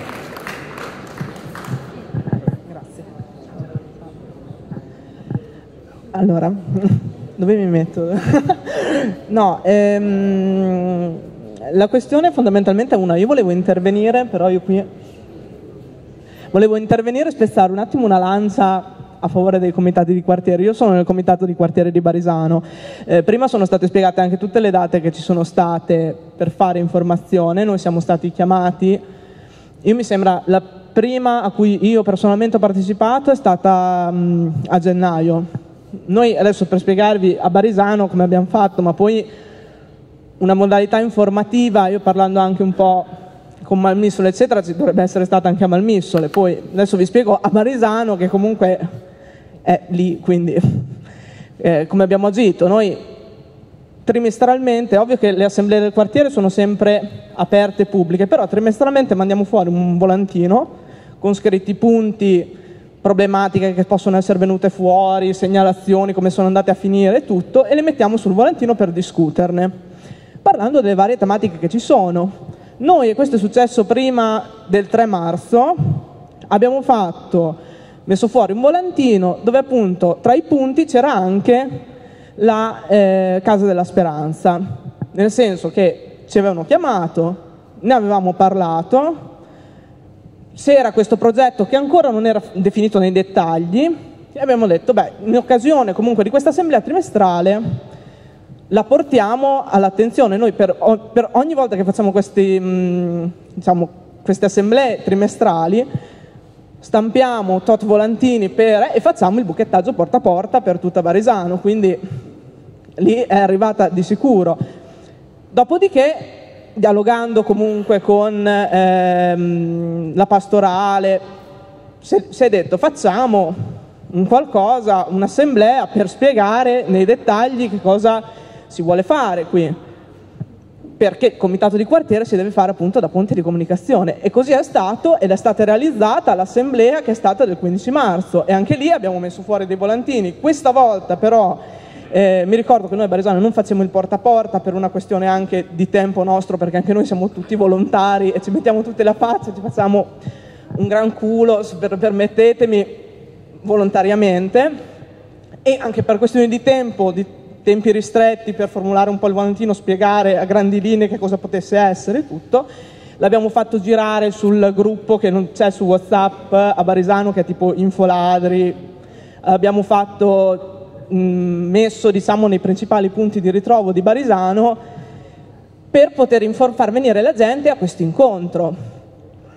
Poi un'altra cosa, qui Mm, ho sentito, io adesso mi sono persa i, 20, i primi 20-30 minuti di discussione, però quando sono entrata si parlava appunto del fatto delle accuse di cattivo cristiano o buon cristiano. E io da quello che so sono giunte anche email di minacce verso dei coordinatori di Roncadello, dei Malmissole, scusate. Quindi, ora, io credo che dividere una divisione così netta della comunità non faccia bene a nessuno, soprattutto perché siamo delle collettività molto strette e molto piccole e bisogna cercare una collaborazione, secondo me. E se ci sono degli aspetti comunque in cui diciamo, si possono esprimere delle criticità, che sia il numero di volontari, che sia una qualsiasi altro tipo di cosa anche a livello organizzativo, però penso che dall'altra parte provare a dialogare e noi come comitati di quartiere ci poniamo come ponti di comunicazione. Non ci poniamo invece come ad esempio enti che mh, prendono una posizione, perché non è il nostro ruolo. Poi io personalmente posso avere una posizione, posso dialogare con altri e parlare della mia posizione e in un dialogo di solito magari ci può essere quello che vuole convincere l'altro o queste cose. Però io esprimo anche una mia opinione come persona, non è che l'esprimo sempre come comitato, come comitato non siamo sempre limitati a fare punto di comunicazione e mi sembra che questo ecco, sia stato fatto. C'è stato l'episodio, mi sembra, della sala, perché questa qui doveva essere fatta al, um, alla scuola di Barisano, che prima sembrava che dovesse essere di competenza nostra, noi abbiamo detto ma è un posto di comunale, cioè, sembrava che dovessimo, fossimo, dovessimo dire noi che poteva entrare, io, noi abbiamo detto ma veramente sarebbe il comune. Il comune poi ha detto a voi, voi invece lo dovete, lo dovete concedere. A quel punto cioè, siamo detti vabbè allora diceci quando la volete fare, però a quel punto è intervenuto ancora il rimpallo dall'altra parte per cui si è detto non c'è la mh, capacità strutturale, la capienza per poter ospitare questa cosa, però anche noi saremmo stati disposti ad ospitare se ci fossero state comunque le possibilità. Volevo solo chiarire questi due concetti. Grazie. Scusate se approfitto che aggiungo perché in realtà ci sono delle piccole inesattezze. Voglio ricordare anche a te che il, il, la proprietà è comunale e il gestore dovrebbe essere il comune, che purtroppo per inefficienza sua dei suoi uffici e perché non è stato ancora in grado di fare un regolamento nuovo, utilizza il regolamento delle circoscrizioni che non esistono più. Quindi il regolamento non è valido, ci sono ancora i riferimenti di presidenti di circoscrizioni che non ci sono più e sono i gestori delle sale, questo è vergognoso in una città come Forlì. E loro non hanno, non, ovviamente come, come aspetto politico quando in Consiglio Comunale si è deciso il regolamento del, dei quartieri, noi siamo stati i primi a dire che i regolamenti dei quartieri dovevano nascere e come quartieri dovevano avere gli strumenti per, per, poter agire sul territorio. Loro non hanno neanche la sala. Ci sono dei quartieri che non si riescono neanche a trovare, si trovano a casa. Si stampano i volantini da soli, gli danno 700 euro all'anno. Per fare cosa? La sagra, la festa del paese. E poi che cos'è? Tangibile, concreto? No, per fare i volantini. Per fare i volantini. Ecco, mi piacerebbe sapere, poi magari dopo, quanta partecipazione c'è stata alle riunioni tre precedenti, quella pubblica, con i comitati, con i promotori, per capire loro da chi hanno preso le informazioni per decidere se il progetto può andare bene, no, abbiamo sentito la cittadinanza, il progetto non piace. Perché se voi come ente promotore o comunque gestore di questo processo non lo fate veramente partecipativo con i cittadini, ma vi, affonda- vi, vi, basate sul giudizio che vi possono dare comitati di quartiere, ci sono comitati di quartieri che sono due o tre persone. Voglio dire, due o tre persone non possono decidere per una comunità, devono fare loro da, mh, da ragnatela, da rete, con la, con la cittadinanza e la comunità locale e poi raccogliere le istanze e portarvele per poi fare magari una manifestazione come questa che non doveva organizzare il Movimento 5 Stelle, doveva essere una cosa organizzata dai quartieri, dal comune, dalla diocesi, dalla Papa Giovanni per integrare, perché scusate, non è almeno da parte nostra non è in discussione il progetto eh, in, se stesso, ben venga il recupero, perché comunque sia anche parte del Movimento 5 Stelle prima c'è il recupero delle persone, che sono sempre persone, anche se nella vita hanno sbagliato, questo è fuori da ogni dubbio. Poi, che ci sia anche la richiesta di certezza della pena, è una cosa che fa parte dello stesso complesso. Però ecco, secondo noi e secondo questi 400 cittadini è mancata un'informazione capillare, è mancata quella che è la rete. Io adesso passerei le domande. Ah, andiamo oltre, c'era... No, c'era...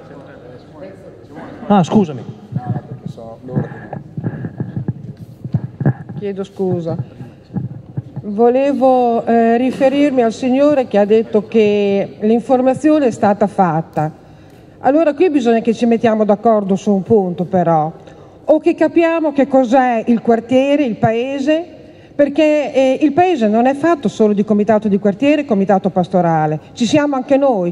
Se voi vi parlate fra voi comitati ma non divulgate al Paese, noi non siamo a conoscenza dei vostri progetti, noi lo siamo venuti a, eh, siamo venuti a conoscenza al quarto incontro, il 15 marzo, ma i precedenti li avete fatti solo fra di voi. Io ho saputo di questo progetto andando a vedere neanche i verbali del mio comitato di quartiere, quello di Roncadello, in data 6 dicembre sono andata a leggere che ci sarebbe stato il 12 dicembre a Malmissole la presentazione del nuovo progetto Casa della Speranza con tutti i comitati delle cinque comunità. Io lì lo sono venuta a sapere, ma a marzo era, perché il mio comitato non ha detto niente. Allora è qui che è, manca, c'è c'è un, un, ingranaggio che viene a mancare, perché se parlate fra di voi e poi che il, eh, il parroco dica non divulgate ancora intanto che non abbiamo la certezza, i comitati cosa verranno a dire con i parrocchiani? Cosa verranno a dire? E poi c'è un'altra cosa che io voglio sottolineare.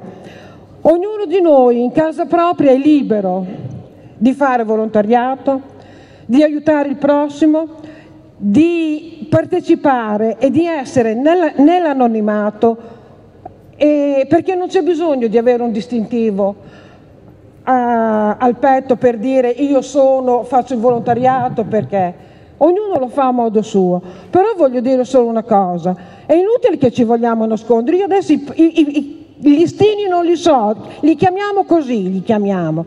Però a tenere in affido dei bambini non sono a spese mie, ho un contributo dal comune, è vero o no? Quindi è inutile che ci, faccia, ci riempiamo sempre la bocca di volontariato quando non ci togliamo i soldi dalla propria tasca. In casa mia io ho il mio compagno che per seguire una famiglia che viene dal Burkina Faso i soldi se li tira fuori di tasca proprio. Io quando vado a fare la spesa la faccio per loro.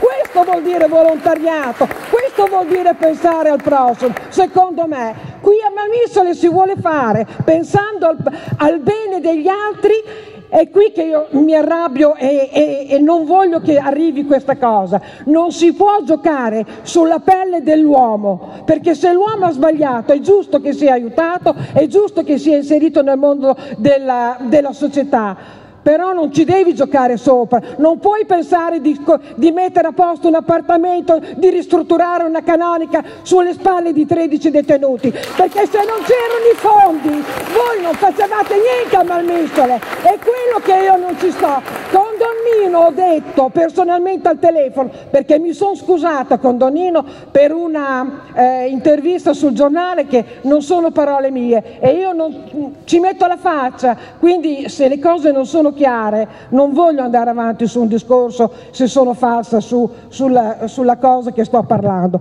Le ho chiamate e mi sono scusata di questo perché non erano le mie parole, ma al di là di questo gli ho detto che intanto che non avrò trasparenza, se sarà la magistratura a dire che c'è trasparenza sul denaro che verrà erogato in quella struttura, allora starò zitta. Intanto che non c'è questo, io non starò zitta, perché non è questo il modo di comportare.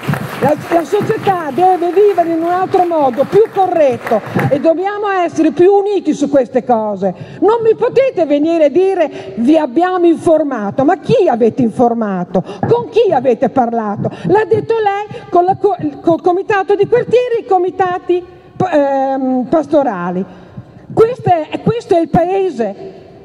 Se poi dopo non viene divulgato, noi possiamo dire che siamo tagliati fuori, non esistete solo voi. Con Donnino gli ho proprio detto così, non ci siete solo voi, vi dovete adeguare anche a noi, vi dovete inserire in mezzo a noi, ci siamo anche noi, esistiamo, abbiamo diritto ai doveri come li avete voi, nello stesso identico modo. E per questo non è che siamo diversi. Non siamo diversi, mettetevelo nella testa, siete voi che volete fare la differenza, ci fate capire mari, monti e destra, ma se vi vengono a mancare l'erogazione, che perché adesso nelle, per il discorso delle carceri è un erogatore nuovo, lì scendi il denaro e quello adesso si porta avanti, e questo è il guaio, non è per il bene.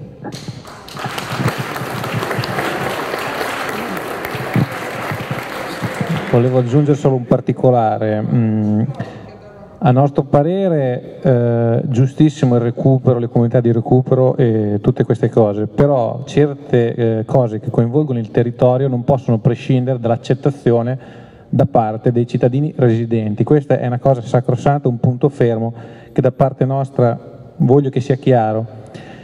E ehm, ecco, ad esempio, qui si scoprono cose anche interessanti. Queste tre riunioni fatte col comitato di quartiere eh, non erano note alla cittadinanza, quindi se voi mi dite che sono state fatte tre riunioni, dove sono i verbali? Sul sito del comune non ci sono, ma soprattutto quando viene fuori una petizione firmata da 500 cittadini che sono contrari, mi dispiace ma il vostro processo informativo non è stato efficace, è come se non ci fosse stato purtroppo e quindi ne dovete prendere coscienza e da qui io faccio un altro ragionamento sul discorso anche dei comitati di quartiere. I comitati di quartiere funzionano o non funzionano? Chi rappresentano i comitati di quartiere? Ma soprattutto le riunioni di questi comitati di quartiere vi vengono comunicate? Vedete dei volantini del comitato di quartiere che, siano, che parlino di cose differenti da sagre o altre questioni così eh, conviviali? I comitati di quartiere devono fare informazione, le riunioni devono essere pubbliche, ma non perché può entrare chiunque, però non si sa quando ci sono, devono essere comunicate alla cittadinanza, si deve sapere quando il comitato si riunisce e tutti voi dovete partecipare a queste, riunioni, dovete portare i problemi. Basta, solo questo.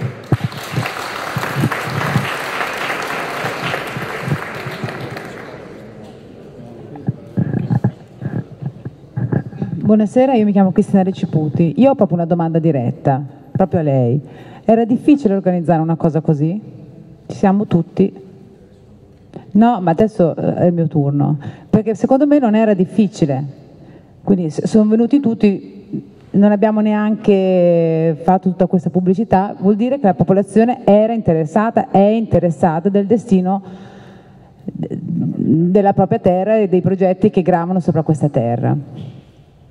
Però io vorrei dire una, um, due cose. Allora, io e Leo, questo mio grande amico, siamo volontari al Parco della Pace in via Piave, un parco che era molto malmesso, eh, c'era una bella struttura in legno, e lui di sua iniziativa ha cominciato a tampinare il, il quartiere. E insomma siamo riusciti a farci dare questa casetta che non, non vende niente, però noi l'abbiamo aperta e, e, quindi il parco è rinato. Eh, ci sono tanti anziani che vengono a giocare, i bambini, ci siamo anche confrontati su un aspetto secondo me fantastico che io ho, mi preme comunicarvi perché quando noi siamo arrivati lì eh, il parco era diciamo un po' eh, gravato dalla presenza di 4-5 bambinetti eh, abbastanza violenti e noi ci siamo guardati e abbiamo detto vabbè adesso mettiamo a posto il parco poi questi qua faremo in modo di, insomma, di allontanarli. Bastato, ci sono bastate due settimane, due settimane in cui abbiamo capito subito che l'inclusione era per noi l'arma vincente. Noi mandandoli fuori avremmo soltanto spostato il, il problema fuori dalla rete del parco. Nell'inclusione noi abbiamo il controllo di questi ragazzi, eh, stiamo creando un, un, um, un legame affettivo forte di rispetto. Quindi abbiamo capito che l'inclusione per noi, se vogliamo vincere, eh, vogliamo aprire questo parco sempre di più alla cittadinanza, è fondamentale. Ci siamo arrivati, partivamo da una posizione di dubbio su questo, perché i bambini erano abbastanza aggressivi con, con gli altri. Però quando ci vengono a chiedere, e ci sono venuti a chiedere, no? Facciamo un bel eh, comunicato stampa, questo è un bel progetto, questo è un bel risultato. Noi diciamo, e io voglio dirvelo quello che diciamo, diciamo no, questo è l'esempio di un fallimento, il fallimento delle istituzioni che ci stanno dietro e ci sono venute a dire esportiamo il progetto. Ah, dico, volete esportare il lavoro gratuito? Ma voi lo sapete che noi sequestriamo quotidianamente tre ore alla nostra famiglia, tre ore al nostro lavoro? Vogliamo esportare questo? Quando... Quando io sento parlare di progetti, potrebbe essere un mio figlio un carcerato, gestito da volontari, io mi si alzano i capelli sulla testa. Ma eh, dove siamo arrivati? Volontari, le persone vanno pagate, è scritto anche nella Bibbia, vanno pagate, lavorano, sono impegnati, mettono la loro testa e la loro competenza sul progetto e sulla vita di queste persone, vanno pagate. E io un'altra cosa, e poi chiudo, perché bisogna capire che ormai siamo talmente abituati a sentirci dire de delle cose terribili sulla nostra società che non ci facciamo più caso. Il primo intervento del signor Rossi, o Rosso non mi ricordo, è partito, è, è, iniziato proprio così, dicendo le carceri fanno schifo, le carceri sono brutte e quindi i carcerati sono in cattive condizioni. Io non metto in dubbio che questo sia vero. Quindi cosa facciamo? Paghiamo le tasse per de avere dei carceri che dovrebbero funzionare. Le nostre tasse non vengono utilizzate come di dovere e quindi ce li ritroviamo sul territorio, gestiti da volontari.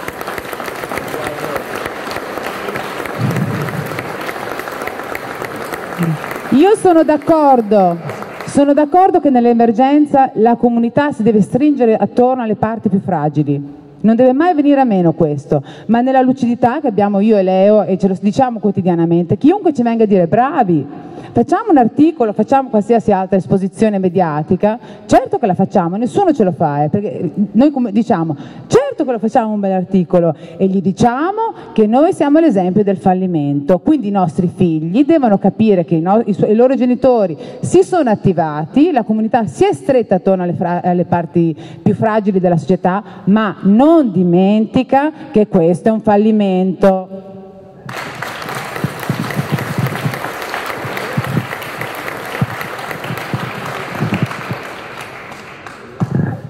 No, niente, mi fa piacere che abbiamo la stessa idea. Io queste cose qui, non così bene come le ha espresse lei, ma le ho scritte nella nostra mail list del comitato quando gli dicevo eh, ragazzi dovete fare qualcosa. Per, per, dieci giorni sono stato il loro tormento nella mail list, ma loro si sono sempre dichiarati neutrali, non so perché, ma io non ce l'ho neanche tanto col comitato. Anzi, volevo riallacciarmi a quello che ha detto la ragazza di Barisano mi ero scordato prima di ringraziare il comitato di Poggio, ad esempio, che almeno si è schierato, si è schierato, ha fatto un verbale, l'ha depositato in comune e aspetti che adesso lo trovo. Volevo leggere quello che ha scritto perché ce l'avevo qui. Il giorno 10 aprile ha depositato sto verbale e si chiede pertanto al Consiglio Comunale di prendere in considerazione la possibilità di ridiscutere il progetto per capire eventuali responsabilità legate alla sicurezza dei quartieri. La nostra richiesta, dicono, dovrà essere considerata sostegno a quella presentata da un gruppo di cittadini del quartiere di Malmissole. Per questo che li volevo ringraziare. Hanno fatto le votazioni, c'erano la maggioranza eh, contraria al progetto, uno favorevole, però almeno si sono schierati. Il nostro ha continuato sempre a essere a detta loro neutrale, eh, però eh, bisognerebbe chiederlo con loro, dato che qui ce ne sono due o tre questa sera, perché hanno fatto così. Secondo me, non voglio pensare male, penso solo che abbiano sottovalutato all'inizio il problema, penso io, non voglio pensare male. però bisognerebbe chiederlo a loro. Loro continuavano a dire che loro dovevano solo informare e noi gli chiedevamo ma se informate, fate da tramite eh, da, dalle istituzioni verso i cittadini, eh, ma dovete fare da tramite anche per l'altro verso, cosa gli dite se, se non ci parlate con i cittadini?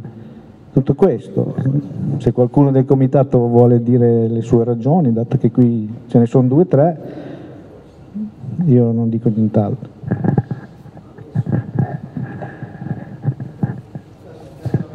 Salve, io sono Guerini Giancarlo, vengo da Pieve Quinta, però questa sera sono un, citt- un cittadino di Malmissole ed ho una domanda al signor Severi che praticamente racchiude tutto il problema. Lei lo sapeva che erano zingari prima che venissero a casa vostra? È una domanda, mi può rispondere? Ok, loro non sapevano nulla. Il problema è tutto qui.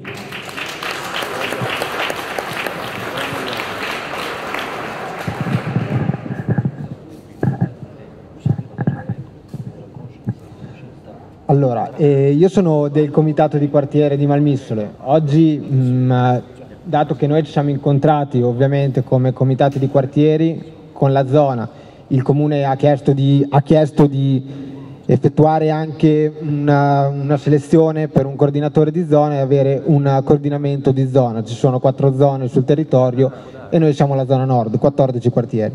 Morale della favola ci siamo incontrati e come mh, comitati io non sono il coordinatore intanto, sono il segretario, vengo, mi sbatto per le riunioni, sono volontario, eccetera. Vabbè, e, ehm, allora, come, come comitati di quartiere ci siamo detti che non era nostro onere prendere posizione. Non era nostro onere prendere posizione. Oh, mi scuso, infatti, perché noi siamo veramente poca roba, noi non abbiamo un potere decisionale in questo, noi non siamo attori in questo, c'è un'associazione di scopo temporaneo che è stata creata che nel momento in cui ha avuto le informazioni per rispondere ad ogni eventuale domanda che poteva venire posta, si, avrebbe, si sarebbe presentata a Malmissole per fare un incontro pubblico. L'incontro pubblico si è svolto il 15 marzo.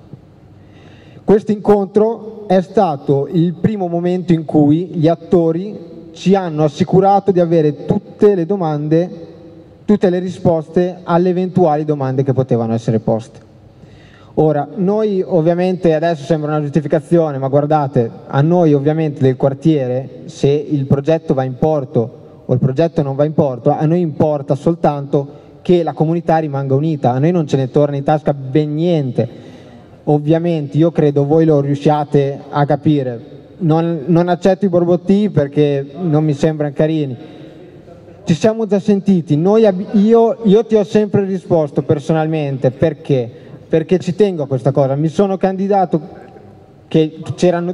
Ecco, il punto non è il fatto che sia mancata la comunicazione, il punto è che la comunicazione, noi come comitato di quartiere siamo l'ultima estroflessione, mi correggano i consiglieri se sbaglio, siamo l'ultima estroflessione del comune, siamo la falange ultima del comune, no?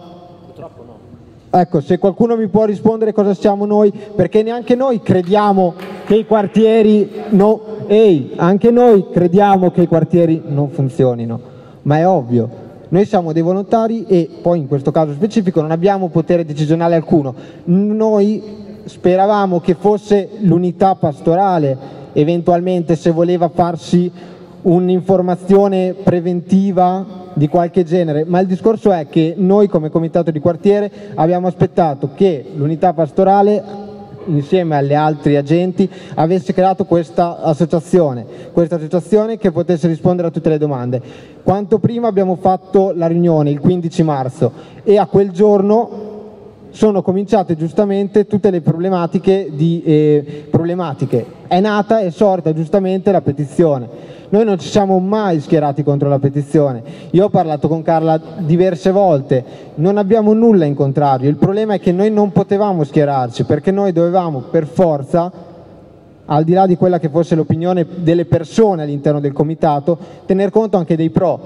C'è qualcuno che è anche pro, che ci crediate o meno? No, sicuro. Ma certo, appunto. Quindi noi non potevamo partire il 15 di fronte alla manifestazione dei dissensi che ci sono stati il 15, perché il 15 ci sono stati dissensi più che domande, non è stata molto eh, approfondita la faccenda e quindi per forza di cose dopo il dissenso partiva un po' da una mancanza di informazione, che dopo la petizione si è preso carico di informarsi.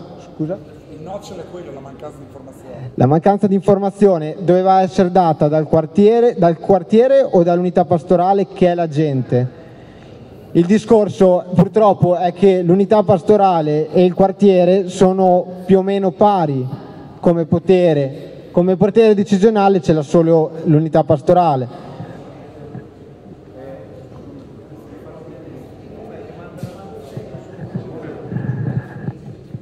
Allora, facciamo così, provo a darti due spiegazioni, visto che tu sei, se non sbaglio, Montaguti Enrico, giusto? Allora, sul sito del comune, tu ti dovresti arrabbiare come portavoce del tuo quartiere, ci sono solo due verbali, uno datato 14 marzo 2016 e uno 10 ottobre 2016.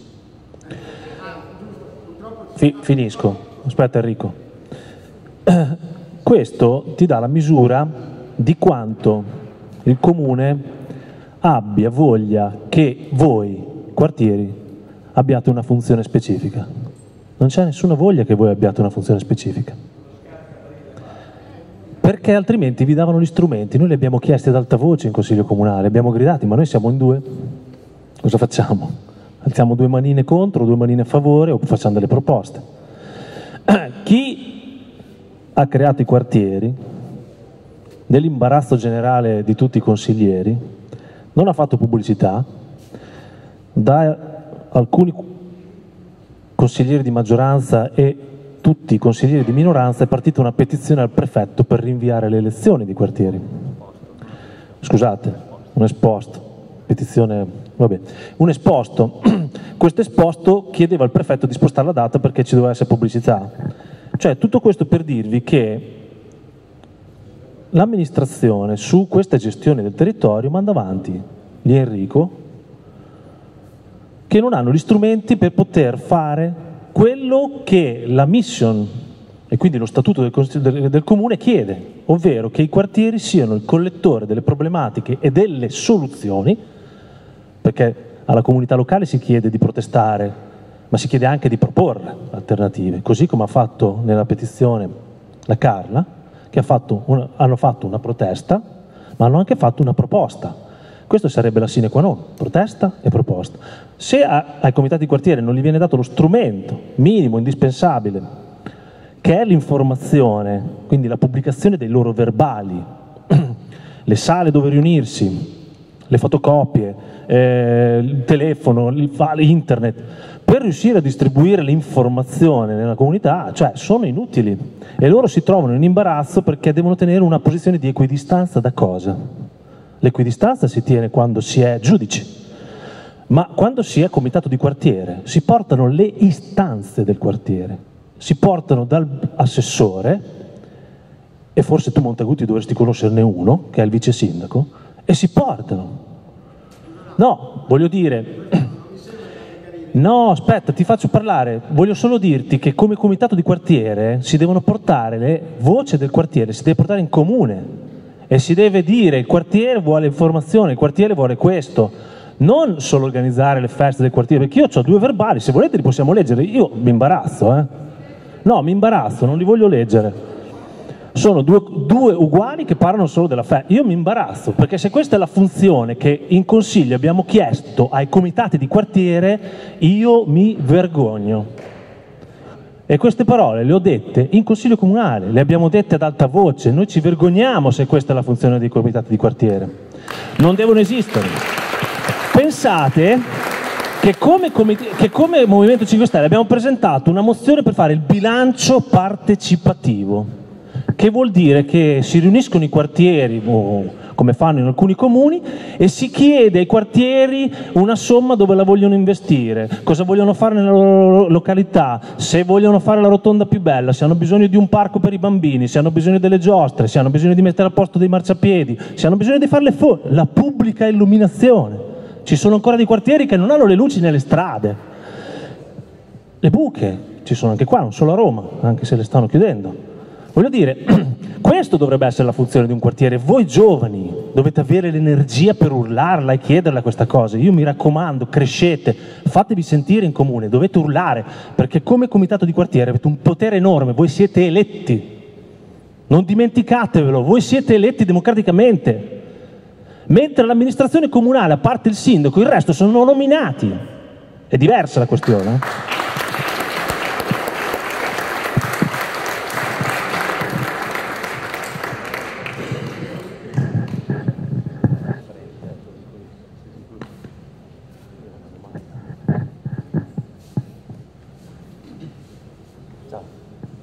Buonasera a tutti. Io, scusate l'emozione, ma eh, sono qua che vi parlo da ex detenuto. Quindi un esempio più di me penso che non potete averlo.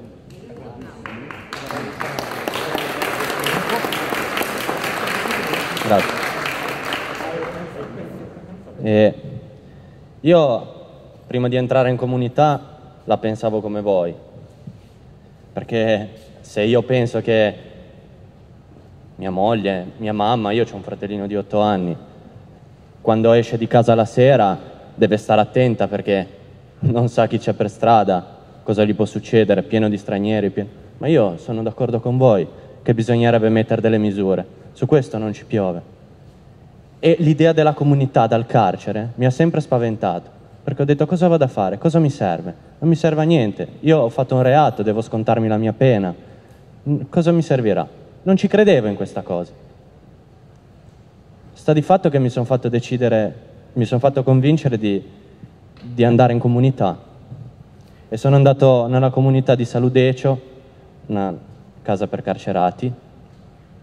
Sono entrato e la mia idea rimaneva sempre la stessa, che io da quel posto ero sicuro che non ci potevo cavare niente. Col trascorrere del tempo però ho visto che qualcosa stava cambiando, perché comunque sia avevi delle persone che non ti giudicavano per i tatuaggi, perché io così dove vado fuori? Chi mi prende a me a lavorare? Eppure sono un bravo ragazzo, un gran lavoratore, mi spacco la schiena tutto il giorno. Ma chi mi prende? Solo perché ho i tatuaggi, solo perché sono stato in galera. Non mi prende nessuno. Questo è il fatto. Invece lì ho trovato delle persone che mi hanno voluto bene, non mi hanno giudicato per i tatuaggi, non mi hanno giudicato per il reato che ho commesso, per i reati che ho commesso. Posso? Posso finire?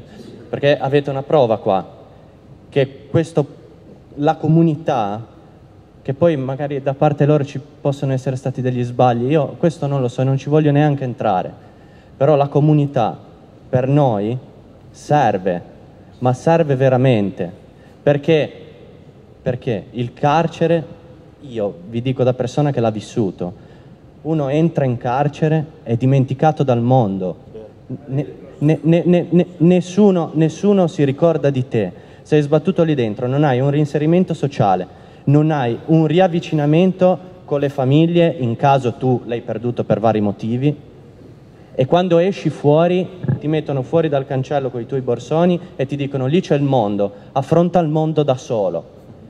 Quello è un problema. La comunità questo non lo fa, perché una volta che anche uno che ha finito la sua pena, di scontare la sua pena, che sentivo prima che si diceva, eh ma se uno ha una pena di sei mesi, sta lì sei mesi e poi, eh cosa vuoi che cambia in sei mesi? No, perché uno che anche ha una pena di sei mesi e finisce, uno la- può prendere la, la decisione di rimanere in quel posto e continuare il suo percorso se non si sente pronto di uscire. E quel percorso serve per riavvicinarsi alle famiglie, per riavere piano piano un reinserimento nella società. Senza quel posto noi quel reinserimento non ce l'avremo mai. Chi ci aiuta? Noi lo Stato? A noi lo Stato non ci aiuta. Anzi, ci dà dei calci nel sedere. Pardon, pardon. Ci dà dei calci nel sedere. Questo ci dà.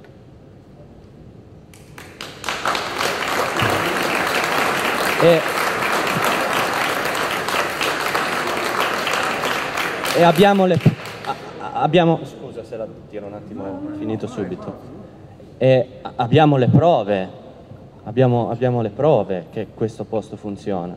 Io adesso sono nella comunità di Fornò, una comunità terapeutica. non ho avuto né problemi di droga né storie varie, però è stata una comunità, io ho altri problemi. Eh, un vado un po' su di giri facilmente, ho questo problema, si vede che mi devo curare. Eh, eh, ma eh, mi devo curare, cosa ci posso fare? E, e in questa comunità le persone che ci sono dentro, dai volontari, da- dagli operatori, che sono anche persone comunque sia tante che hanno fatto il programma prima di noi e sono diventate col tempo operatori, ma sono diventati volontari operatori stando con le persone che hanno più problemi. Da loro devi prendere, da, da loro devi, devi- devi imparare, non con le persone che, che sono, non hanno problemi, sono oh, tutto bello, rose e fiori. No, e queste persone si spendono tutto il giorno per noi, dal mattino alla sera dal mattino alla sera, dal vestire al mangiare, al lavoro, a- alle famiglie, i colloqui con le famiglie tutto il resto. E poi non, so, non mi ricordo chi ha detto che noi eh, che non siamo ah, forse la signora, che non siamo pagati. Eh, noi siamo pagati invece. Siamo pagati perché glielo spiego. Fumiamo, mangiamo, abbiamo un tetto sopra la testa, se ci serve da vestire ci vestono e qualsiasi cosa abbiamo bisogno ce lo danno. Quindi questo per me è il contributo che ci danno a noi. È uno stipendio per me. Perché vivo, questo è l'aiuto che ci danno, l'aiuto che ci danno. Quanti migliaia di euro gli dovrei dare io a una persona come può essere il mio operatore? Quante migliaia di, di euro gli dovrei dare al mese per l'aiuto che mi dà a me, per i cambiamenti che mi ha fatto fare a me? Ah, una cifra spropositata. Quindi forse se lo meritano che io lavoro per loro.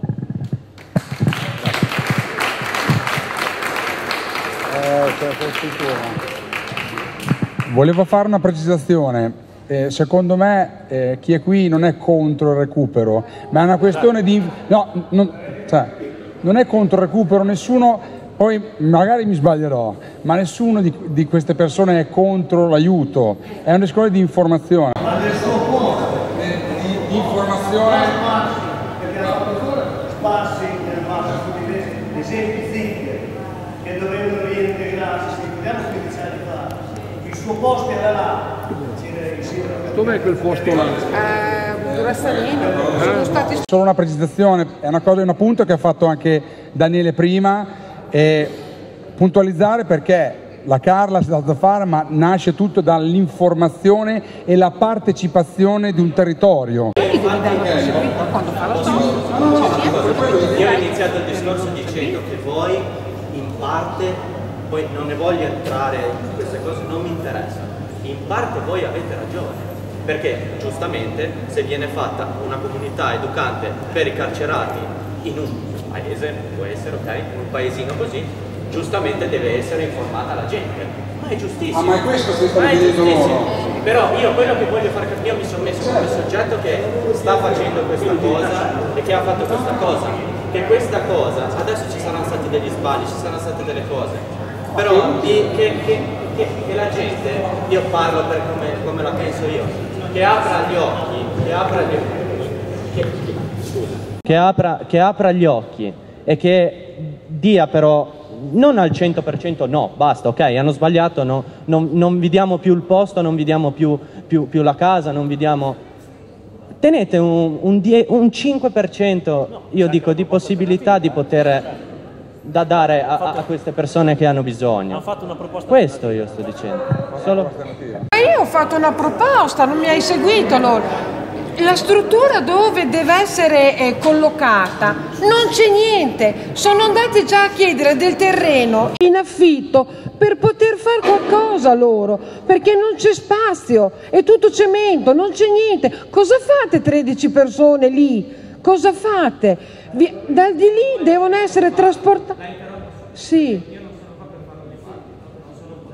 No, ma, no, ma tu hai fatto bene, ma hai fatto bene, hai fatto bene a dire il tuo pensiero, è giusto così.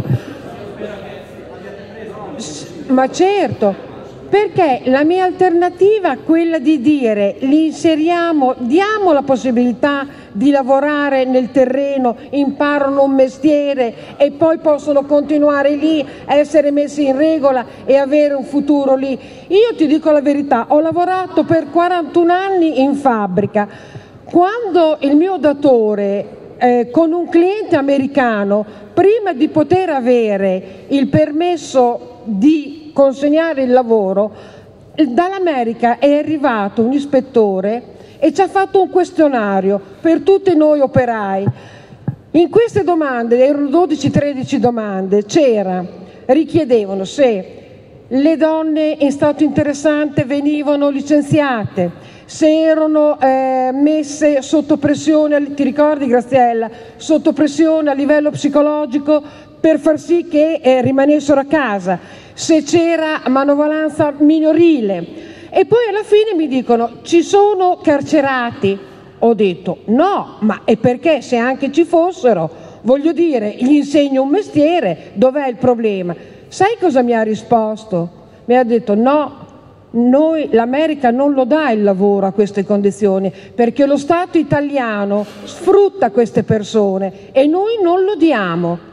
Hai capito? È questo che io ti voglio far capire. Io non voglio che un immigrato venga qua e sia pagato 2 euro per, all'ora per eh, raccogliere la frutta.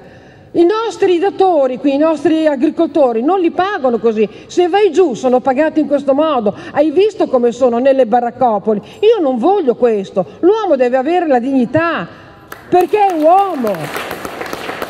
Hai capito? Però bisogna fare in modo che sia giusto e che sia evidente a tutti che è una cosa fatta bene. Perché se la fai di nascosto ho dei dubbi, è solo questo.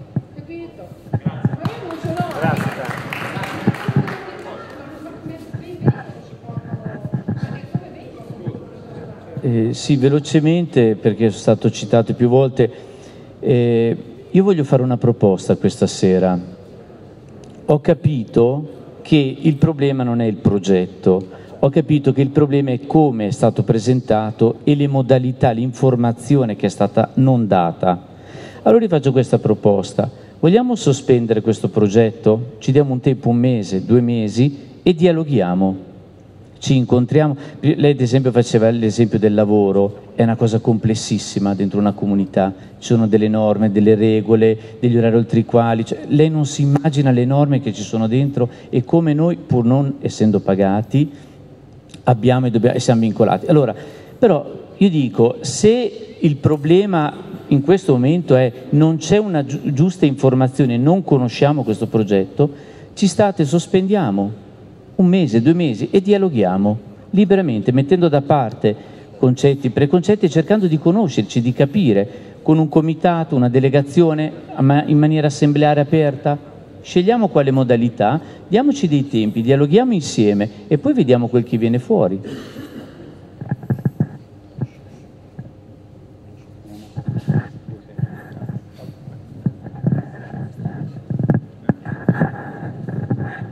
Sì, buonasera a tutti, sono Paolo Rosetti di Malmissole.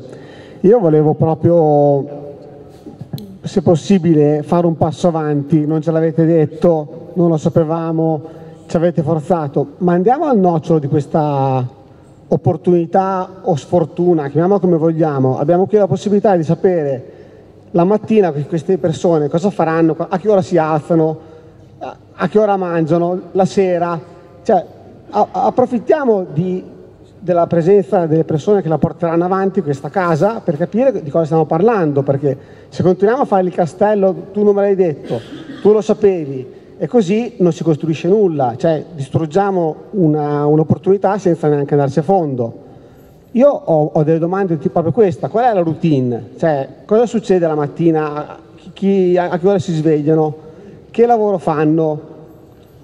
Come si inseriscono dopo? Cosa succede? Secondo me, prima di tirare le somme, prima di dire va male, è una sfortuna, queste cose dobbiamo saperle. Ma io direi, se siete d'accordo, che la signora Carla e il cognato, che sono i miei vicini di casa, lasciano parlare un po' queste persone perché sono venute qua e ascoltiamole.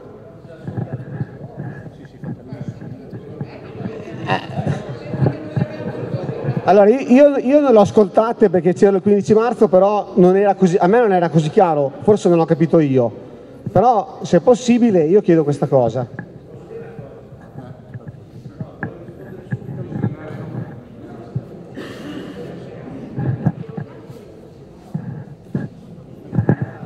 Salve, io sono Andrea Lucitelli, sono eh, il responsabile della comunità terapeutica che sta a Fornò. Eh, è una comunità che quest'anno sono 30 anni che sta sul territorio e quindi oggi siamo venuti così un po' per curiosità perché io non c'ero quei tempi là, nel senso che ero da altre parti, ma si erano verificate un po' le stesse condizioni per cui l'impianto di, un di una comunità terapeutica in un territorio ha comportato alcune problematiche, no?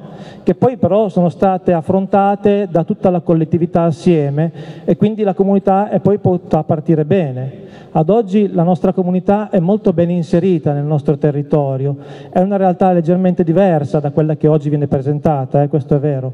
Eh, però ecco, eh, abbiamo diciamo, le diverse attività lavorative, eh, tra cui quelle agricole e quelle dei laboratori, che ci integrano nel territorio industriale e appunto agricolo. L'attività che facciamo a livello di prevenzione coinvolge eh, almeno una cinquantina di scuole se, che vanno da Forlì, arrivano fino a Santa Sofia, quindi attraverso diciamo, quelli che sono gli errori degli ospiti presenti dentro cerchiamo di fare una promozione sul territorio e una promozione al benessere, cioè gli sbagli commessi cerchiamo di convertirli in, in possibilità di, di, non, di non fare errore per tutti i giovani che andiamo a incontrare.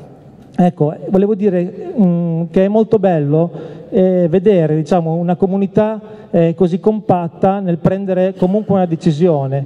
Io penso che la nostra comunità di Fornò, che va eh, sempre della Papa Giovanni, che sta andando veramente bene nel territorio, è ben apprezzata, ben voluta, eh, i, con i ragazzi collaboriamo tantissimo con tutte le persone che sono nel, all'interno del territorio, ma c'è tutto questo perché c'è il territorio che ci accoglie, c'è una comunità che non è, o comunque un centro di questo tipo, che non è accettato dalla comunità intera, non funzionerà mai, perché una comunità una comunità ha bisogno del territorio, non servono, cioè, i due volontari sono poveretti, due persone che sono lì, eh, hanno delle funzioni, ma chi fa tutto il resto dovreste essere voi, cioè, quindi è importante che eh, insomma, ci sia sì o no, qualunque cosa diciate va bene, però se è un sì deve essere un sì partecipato, se è un no il progetto comunque non avrebbe comunque un successo qua dentro, perché comunque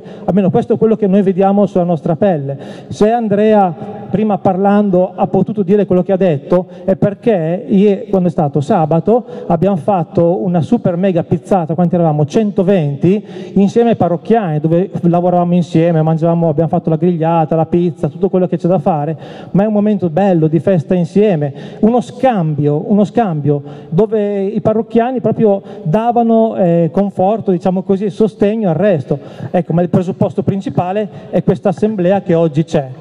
Eh, io ripeto, per me va bene sia il sì che il no, l'importante è che la comunità di Malmissole sia veramente compatta, allora lì veramente c'è un qualcosa che, che può nascere.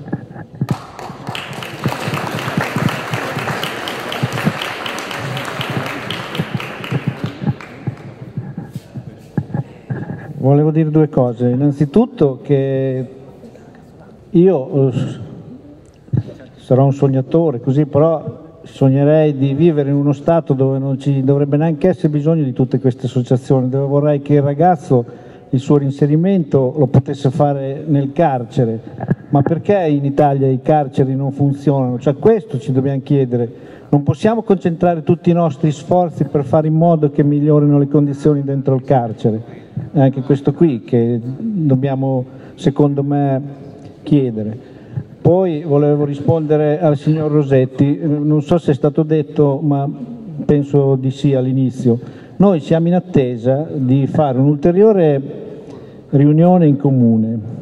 Eh, l'assessore Mosconi deve organizzare questa riunione con alcuni firmatari della petizione, il comitato di quartiere e eh, dovrebbe illustrarci tramite ha detto che forse inviterà la direttrice del carcere, alcuni avvocati che si occupano di questo, e ha voluto eh, espressamente che il comitato di quartiere eh, eh, riuscisse a, a, raccogliere dei quesiti della gente. Non so perché non è stato informato dal comitato di quartiere. Noi, sì, no, siccome abbiamo fatto una riunione in canonica dove il comitato di quartiere ci ha chiesto cioè dovevamo raccogliere i quesiti da porre in quella riunione, ma in realtà il comitato di quartiere, non tutti per la verità, ma 3-4 di loro hanno solo tentato di convincerci della bontà del progetto.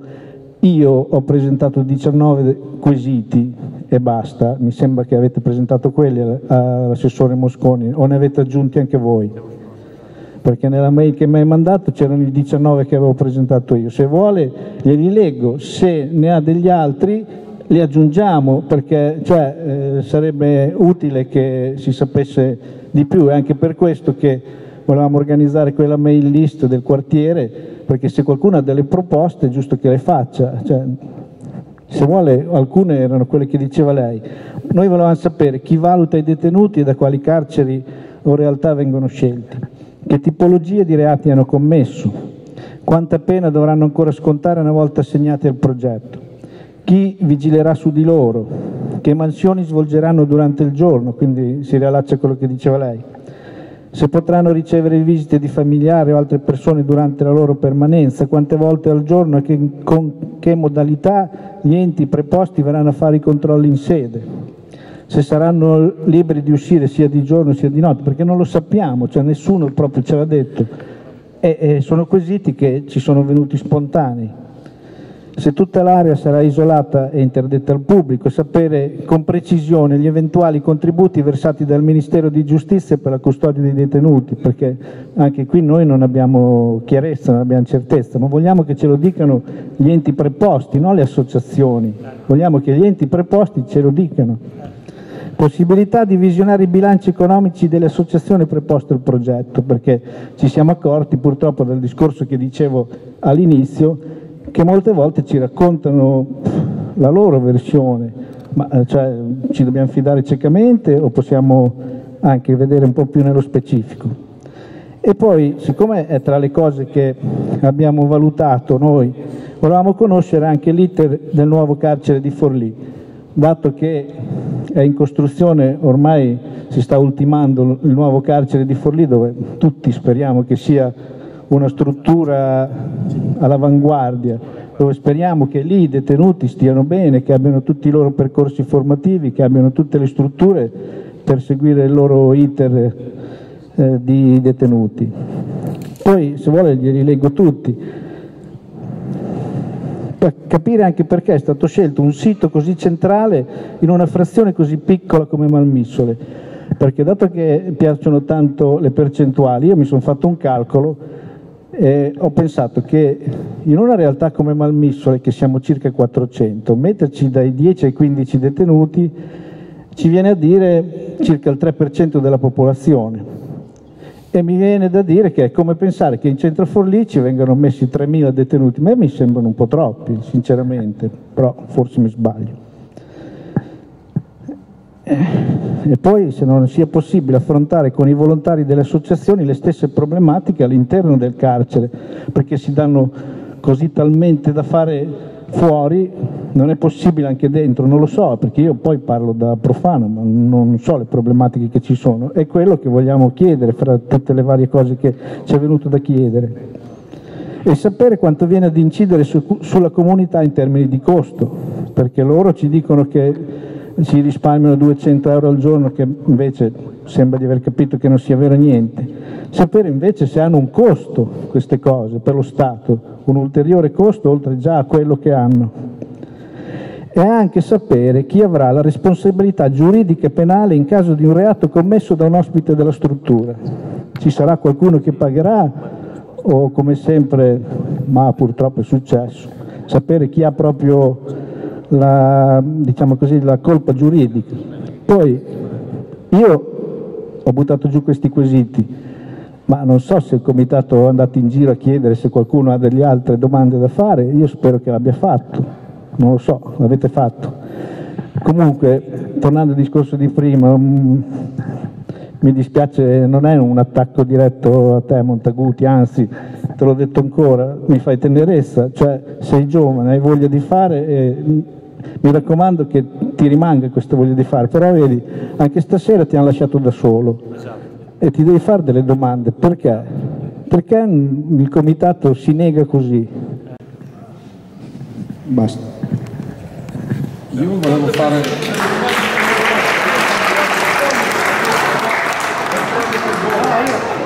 Io voglio sapere da chi... Le autorità, io credo che il sindaco, siccome non ha mai fatto un'attività di comunità, fa fatica a dare queste domande legittime. Eh, Io, scusa- scusate, Questo dovrebbe sapere, però. Comunque, se, se è interesse che la Signoria avere risposte alle domande che il Signore ha fatto, se è interesse, siamo nelle condizioni di dare le risposte. Se è interesse, dubito che sia interesse di qualcuno avere delle risposte, però scusa, scu- scusa- scusate, scusate, io volevo fare, volevo fare una, una piccola domanda, ma tutte quelle domande che lei ha presentato, ha avuto risposta su quelle domande?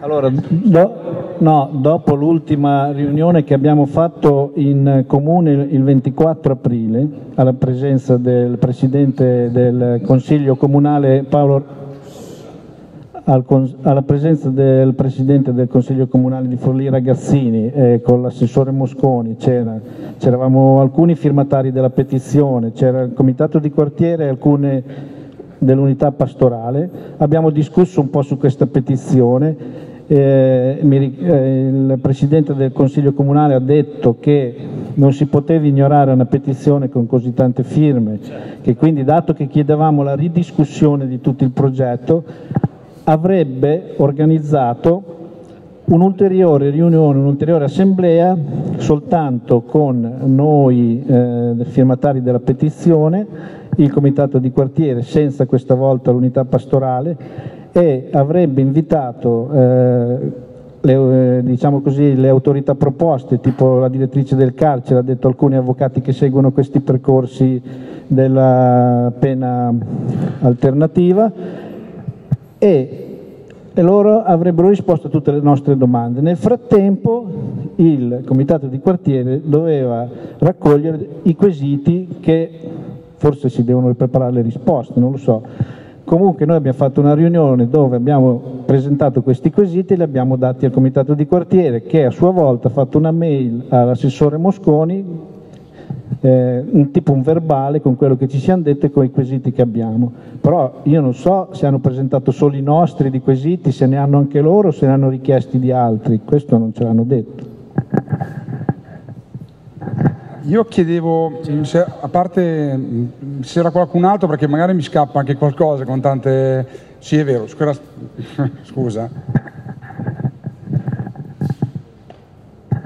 Buonasera a tutti. Io mi chiamo Umberto D'Angelo e sono un residente di Poggio, nonché membro del quartiere, ma stasera sono in veste personale come cittadino e come interessato. Eh, una cosa solo volevo aggiungere a livello, perché qui non c'è la figura forse eh, preparata, un, un giurista. Questa eh, situazione volevo solo aggiungere non come giurista ma come tecnico, perché purtroppo faccio un lavoro che ha attinenza, quindi sono un poliziotto. E volevo solo precisare, e come informazione, quindi nuda e cruda così come ve la do, che questo meccanismo non è che lo decide il comitato di quartiere, Donnino, la comunità Papa Giovanni, il ministro di grazia, ah, scusa, non sono abituato. È un meccanismo che è automatico, cioè è previsto dalla legge penitenziaria. Non vi posso dire i dettagli perché, come ho detto, sono un, misero operaio della giustizia, o chiamiamola tale. Purtroppo gli strumenti che portano a queste eh, diciamo, situazioni, eh, vogliamolo chiamare incresciose, di carenza, di quello che volete, lo è la cosiddetta spending review, quello che diceva il signore nel 2013 costa netto 9 euro e quant'altro, oggi sarà anche qualcosa di meno o qualcosa di più. Ma il problema è questo, che comunque è un meccanismo automatico. Il detenuto che arriva a fine pena, in base alla valutazione di un magistrato, che è il magistrato di sorveglianza, viene messo ai lavori socialmente utili, viene ammesso a eh, detenzione domiciliare, ha un obbligo di firma, ma viene lasciato, come dice quel ragazzo lì che ho molto apprezzato, questo, questo ragazzo qui, che non mi ricordo come chiami, Andrea, viene messo fuori dalla, dalla, da porta del carcere con due borsoni o con un borsone a seconda di come c'è entrato, a volte anche soltanto con un paio di ciabatte e una canottiera, e dite arrangiatevi, anzi arrangiati. Lui cosa potrà fare di fronte a una situazione del genere? Fare quello che ha imparato stando dentro il carcere, ovvero la scuola di professionalizzazione del crimine. Perché purtroppo i nostri carceri non hanno delle strutture alternative. Voi non so se ci siete stati, io ci sono stato dentro al carcere e vi posso garantire che tutte le volte che centro mi viene l'angoscia, a me che so che dopo dieci minuti esco, me, quindi non immagino soltanto i miei colleghi che ci devono vivere dentro. Scusate l'emozione. Quindi questo meccanismo è un meccanismo obbligatorio. Quindi quando arrivano a se, eh, sei mesi, otto mesi, tre anni, non mi ricordo qual è il termine perché purtroppo non è, non è il mio campo, io faccio purtroppo il lavoro di quelli che li porta dentro, mio malgrado, perché in molti casi mi rendo conto che non serve assolutamente a nulla, questi vengono rimessi fuori, così come sono entrati, forse più cattivi, più arrabbiati, più, come dire, disorientati, perché purtroppo il nostro carcere, la nostra legislazione non rieduca queste persone. Quindi mi permetto di esprimere un giudizio personale, personale, una persona che si deve, anche perché potrebbe capitare a me, come potrebbe capitare a lui, come potrebbe capitare anche a me di andare a finire agli arresti domiciliari, perché oggi come oggi vedo che quelli che vanno a finire più in galera di tutti sono quelli che fanno parte diciamo, di determinate categorie, la mia in primis, si può dire.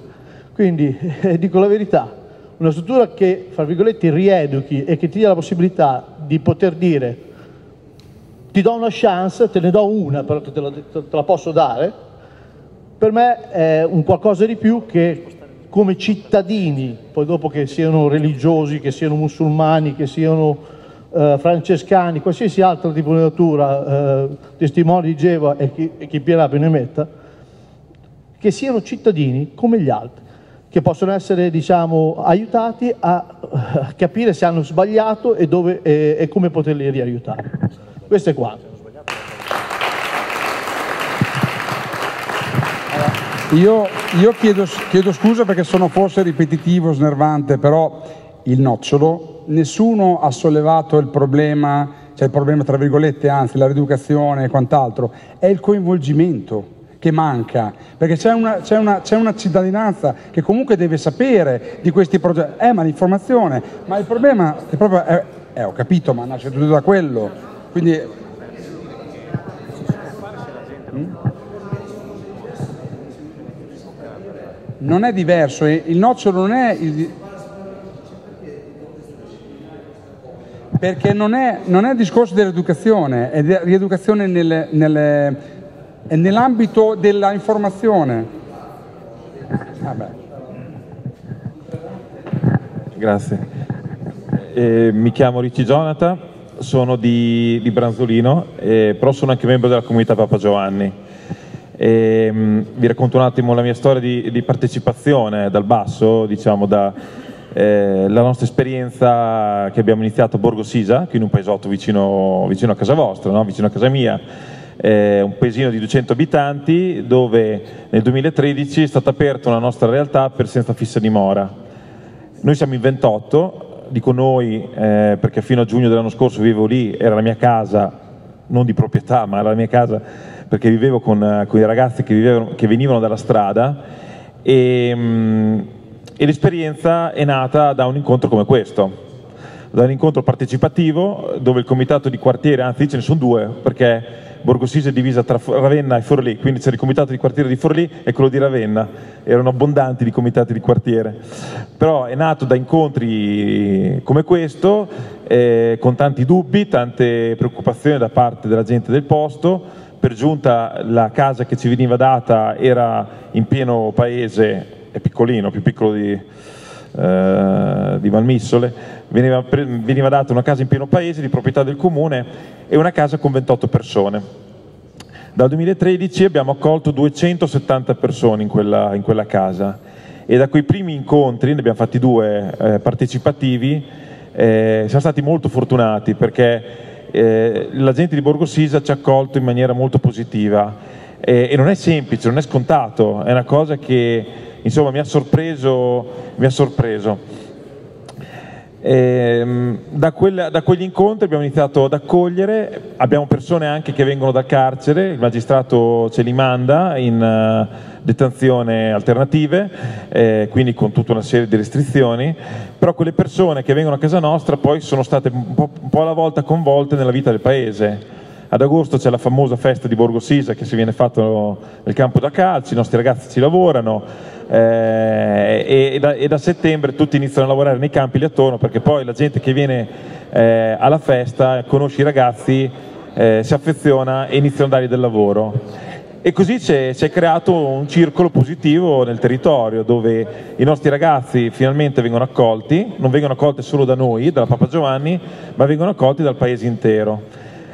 Eh, per molti di questi, anzi, quelli che vengono da carcere lo Stato non ci dà un centesimo, cioè zero, cioè non percepiamo niente, sono totalmente a carico nostro. Lavorano, lavorano internamente la casa, eh, non abbiamo dei terreni come a Fornò, ma abbiamo un centro di lavoro con delle aziende esterne che ci danno dei lavori da fare, perché è bene che i ragazzi lavorino perché eh, il lavoro è, è altamente educativo e, e, così viviamo, ecco. tanto che poi a giugno dell'anno scorso il paese ha, ha organizzato il mio matrimonio dentro, dentro, la casa, quindi anche il paese ha partecipato alla, alle mie nozze, poi dopo me ne sono tornato, insomma sono dovuto andare via da Borgo Sisa perché mia moglie non era della comunità e quindi abbiamo fatto un'altra strada. Diciamo.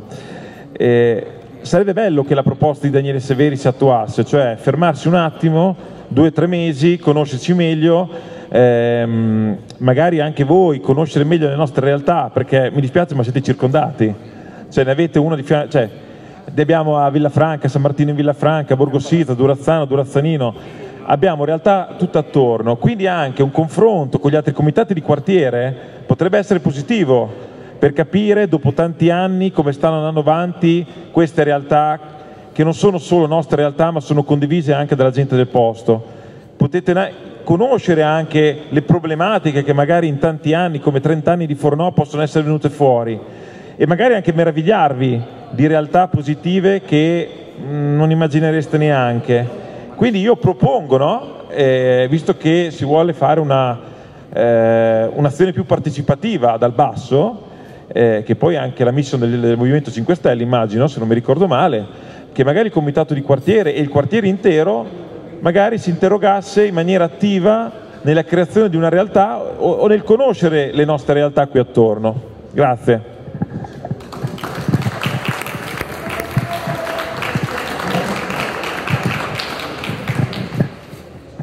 Buonasera, io sono Riccardo Bevilacqua del Movimento 5 Stelle di Forlì. Scusate la voce. Dunque, io ho ascoltato molto attentamente eh, tutti gli interventi, che devo dire tutti estremamente interessanti, però sul finire di questa discussione mi è sembrato che il contendere sia andato alla, su diversi interventi che ci sono stati sulla bontà del recupero di queste persone. E ognuno ha portato la sua esperienza. Io voglio sottolineare che questa sera non era in discussione un'operatività in questo senso, questa sera era in discussione un problema politico che il quartiere, ma anche il Movimento 5 Stelle di Forlì, ha vissuto nell'ambito della gestione di questa tematica. Quindi io vorrei riproporre e ricondurre eh, diciamo, questo, diciamo, questo confronto su questo tema. È un tema politico, cioè vi è stato nascosto una uh, scelta che piano piano avete scoperto. A livello comunale, quando ci siamo mossi come consiglieri che sono qui dietro a me, ci sono stati delle, dei tentativi di frenare magari queste, queste, queste, richieste di documenti, c'è stato un tentativo di eh, non trasparenza e questo a noi non sta bene. Io vorrei che in questo momento venga trasmesso chiaro e forte il discorso che a nessuno piace essere preso in giro, perché noi non prendiamo in giro nessuno. Quindi è un concetto politico che è una, mh, diciamo, una norma, visto che qui siamo in politica da parecchi anni, è una norma eh, condurre questo tipo di, di scelte eh, perché decidono in pochi a discapito di tutti.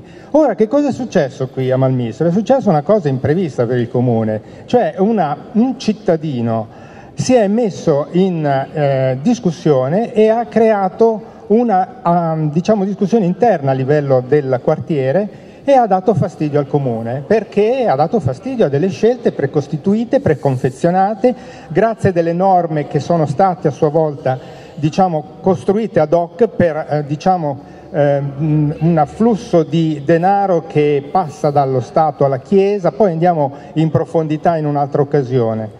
Poi c'è stato il Movimento 5 Stelle che è intervenuto e quindi questa sera doveva essere una discussione che doveva in un certo senso porre le basi per una discussione nel merito di questo problema, senza discutere della bontà che nessuno mette in discussione di tutti questi esempi che avete portato. Cioè avete, siete intervenuti come diciamo, a rafforzare un concetto che condividiamo tutti. Quindi che, che senso ha questi interventi continuativi come a convincerci? No, non è questo il contendere. Quindi per favore ritorniamo sulla base di questo discorso che è politico, perché dalla politica si comincia con la democrazia e con il confronto corretto tra cittadini, tra istituzioni e quartieri in questo caso. Quindi il mio intervento voleva solo focalizzare questo aspetto. Grazie.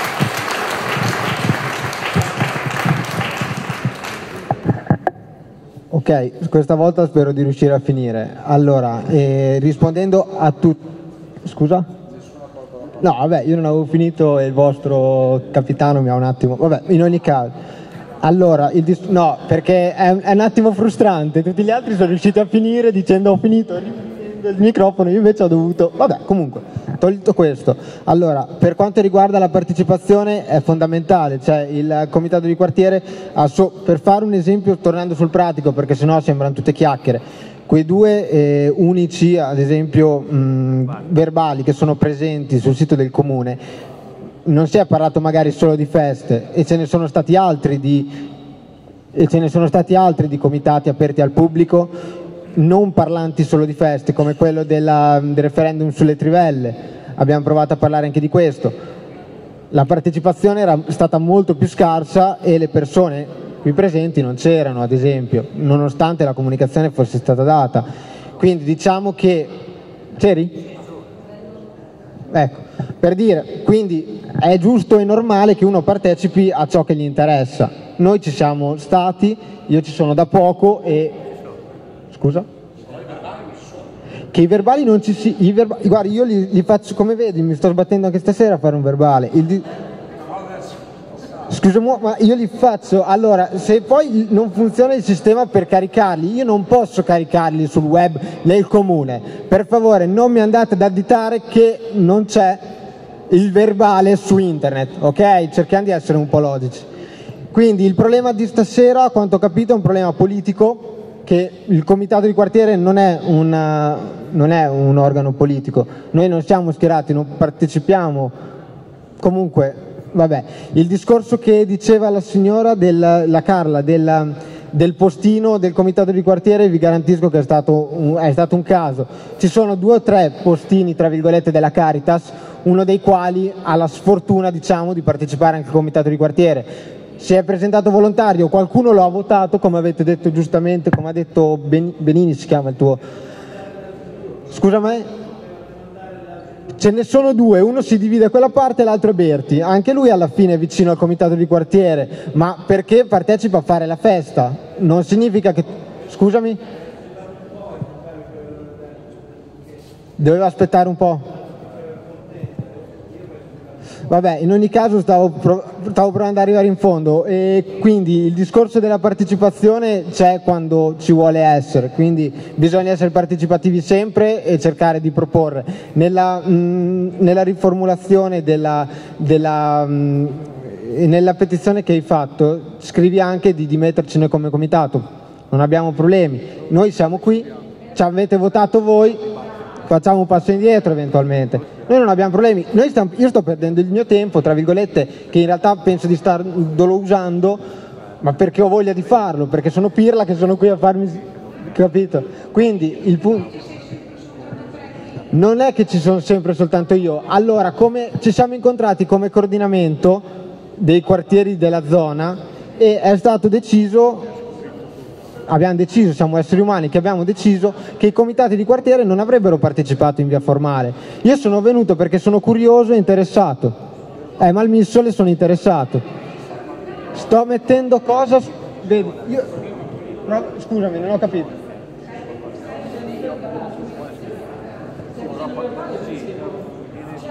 Sto scrivendo, sto scrivendo, faccio gli appunti, ho anche i verbali di comunicazione, cioè ho, io prendo gli appunti, lo faccio all'università e lo faccio qui. Ti questo porta a dire che io sono qui come comitato di quartiere, secondo te? Secondo la signora sì. Io sono venuto come, come Enrico Montaguti, lei è venuta per il... Io, so- io faccio parte del comitato di quartiere. Sono io il comitato di quartiere. No, no, no, no, no, io... Ah, Ah, no, eh, no, no, cioè il discorso, il discorso è qui, i punti che abbiamo raccolto.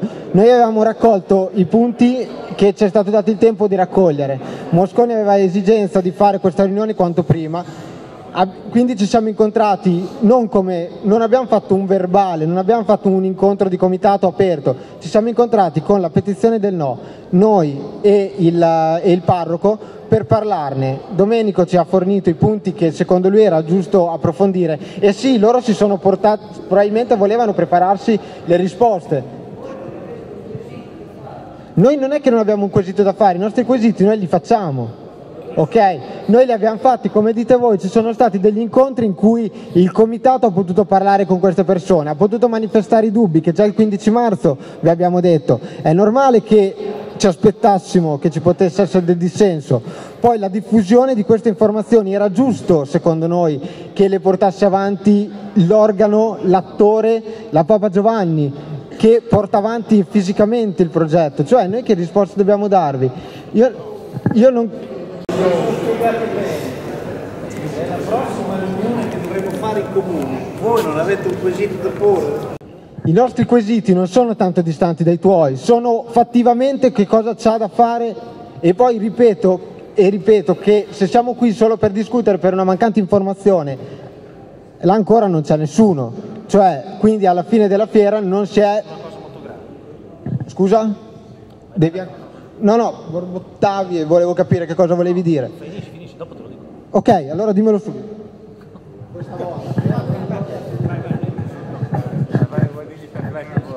Stiamo spostando la questione da quello che è una- un fulcro, cioè dei cittadini che si sono visti piombare un progetto senza avere un'informazione adeguata, torniamo sempre sullo stesso discorso, al c'è anche la proposta della petizione che le chiede, le- no no, lei c'è la sua proposta della petizione Papa Giovanni, va benissimo, però io le chiedo, la petizione dice una ridiscussione della fattibilità del progetto alla presenza dei residenti che dovranno in questo caso essere primamente identificati. Allora, se voi fate informazione, no, no, per carità, volevo solo dire, siete disposti poi, se il quartiere, i- i- gli abitanti, i residenti decidono che questo cosa non sa da fare, ad accettarla come se, se siete disposti a mettere in discussione il progetto con la comunità locale, secondo me è una cosa che potete affrontare, poi ve la, ve la vedete fra di voi. Non-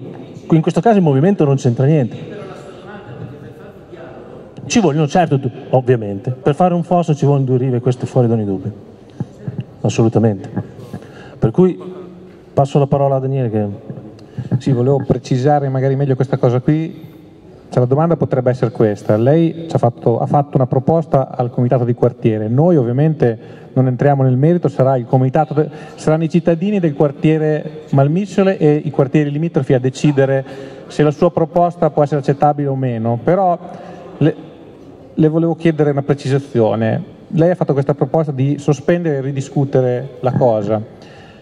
Lei però è disposto innanzitutto anche ad accettare un no della comunità? E questa è la prima domanda, se nella discussione...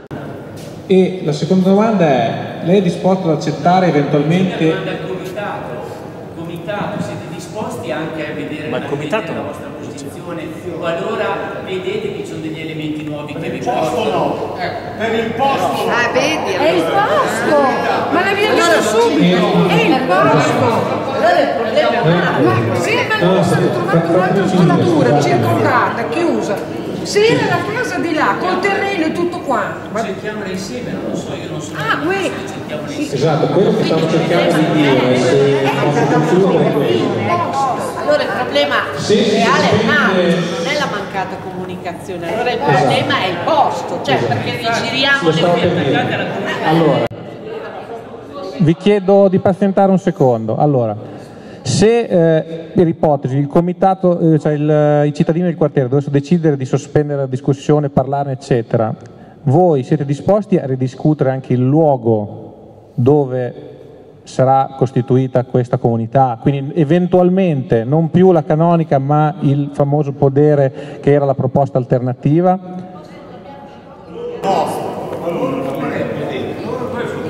posto non l'abbiamo mica deciso. È stata fatta una proposta alternativa dalla signora Carla, che magari può, può rispiegare. Va bene, ma perché dobbiamo chiedere noi? No, volevo solo sapere se per ipotesi ci poteva essere.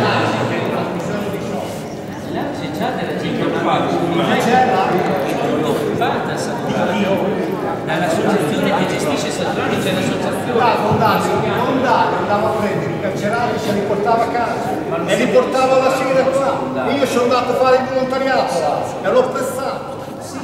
E io qui in questo posto qui non li vedo, non è il posto, non c'è il lavoro. Parliamo. Eh, tutto qui. E quindi cambiamo il posto, tutto lì. Parliamo, se volete parliamo.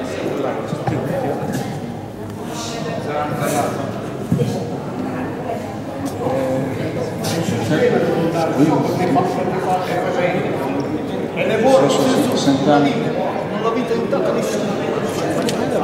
Ah, scusi?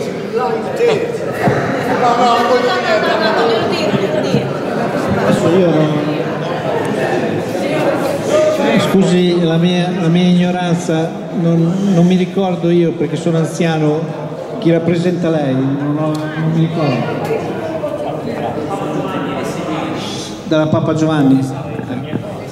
No, perché lei parla bene, però sui giornali la diocesi dice Malmissole, centinaia di firme contro i carcerati, la diocesi avanti, sul, sul Carlino uguale, la diocesi avanti, cioè la diocesi mi sembra che non abbia voglia di parlare con noi, vada a dire sempre sui giornali ci sono le proteste, ma noi andiamo avanti, cioè, quindi... Ah, non so.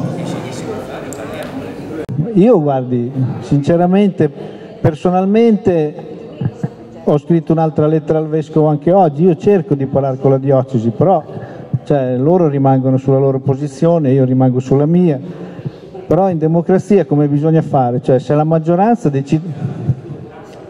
Sì, incontrarsi, parlarsi. Eh, ma quello che abbiamo fatto il 15 marzo, quello che abbiamo fatto adesso, stiamo- abbiamo raccoglio- raccolto delle firme, però sembra che non ne freghi niente a nessuno e quindi come facciamo a parlare?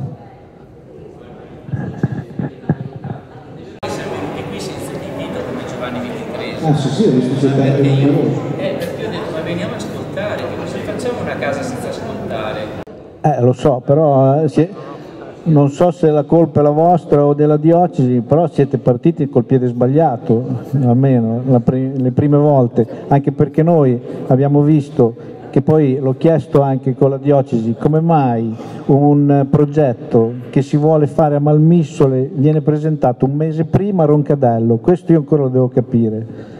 Se lei va a vedere il verbale del comitato di quartiere di Roncadello, non mi ricordo il giorno di febbraio, Ah no, il 6 dicembre... sì, ma dopo ne hanno fatto un altro in febbraio dove c'è scritto che c'è andato uno della Papa Giovanni, della Caritas, Donnino, a presentare il progetto. Perché l'hanno sono andati a presentare a Roncadello se lo volevano fare a Malmissole?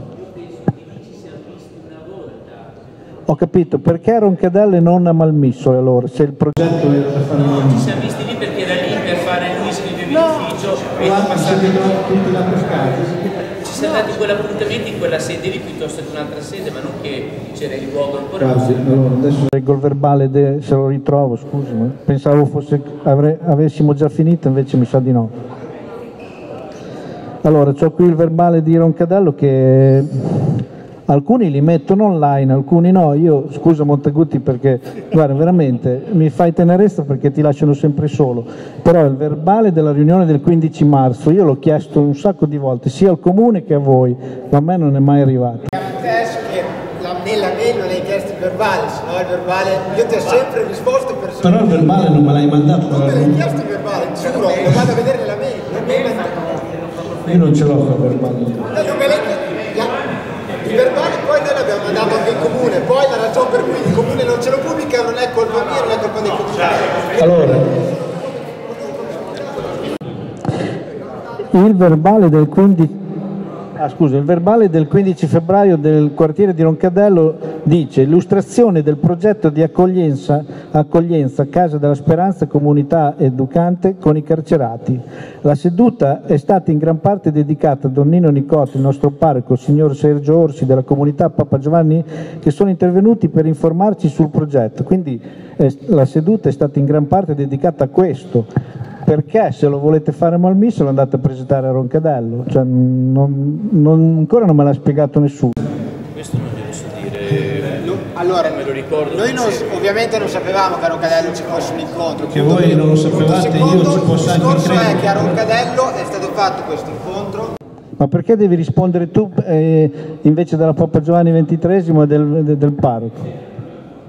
No, allora perché devi rispondere tu? Guarda che non ti sto facendo un appunto a te.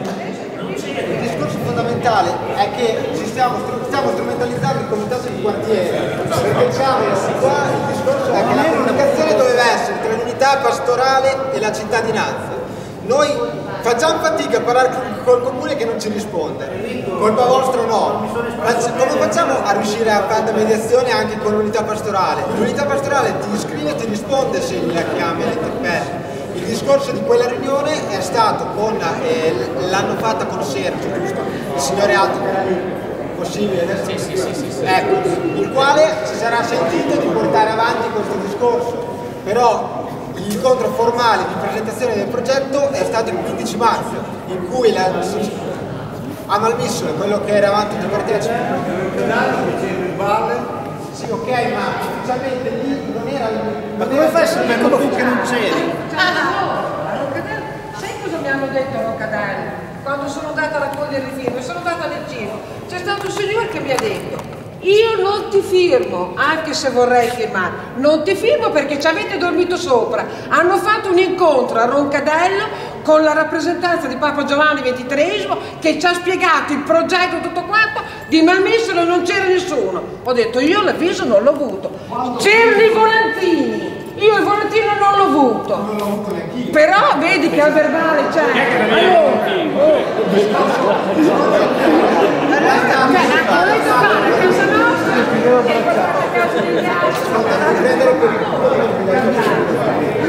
Allora, prendo la parola velocemente. Volevo dire una cosa su questa storia dei verbali fantasma. no? che è una, è una storia che si ripete ciclicamente. no? Allora, di fatto noi sappiamo che il comune di Forlì filtra i verbali del comitato di quartiere. Quelli che non vuole che si vedano non li pubblica sul sito. Io questo me ne assumo responsabilità.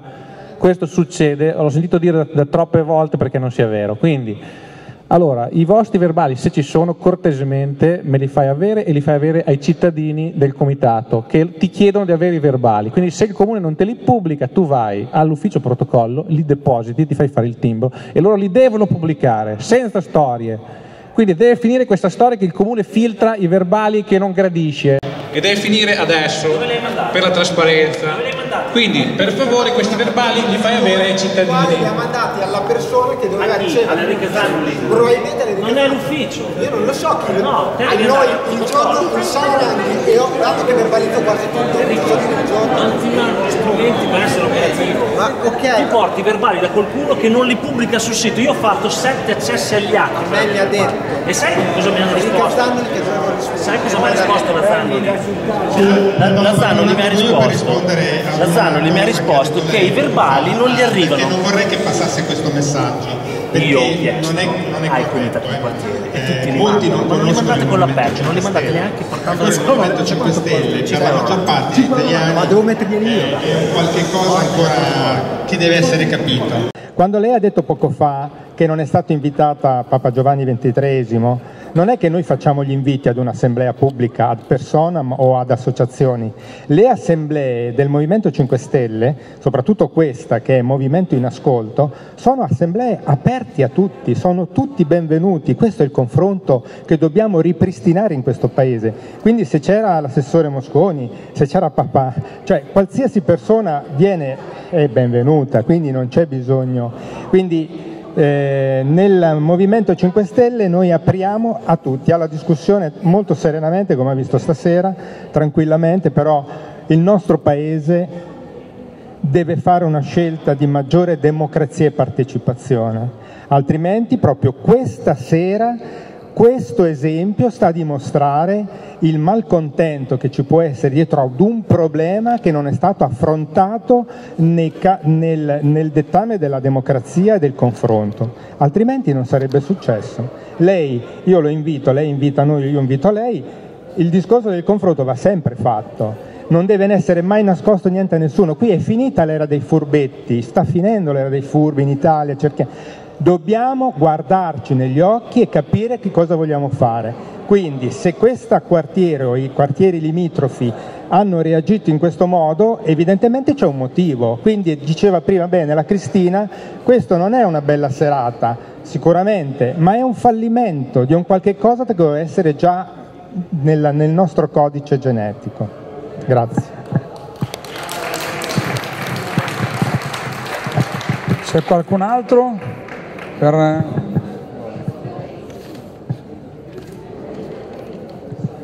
Allora, eh, io volevo ringraziare, scusate, un'ultima cosa. Già. Volevo, volevo ringraziare intanto tutti quanti per la vostra partecipazione per la vostra partecipazione, perché è sempre bello vedere comunque gente che si confronta. Poi logicamente ringrazio anche chi ci ha ospitato, quindi il Walter Casadei.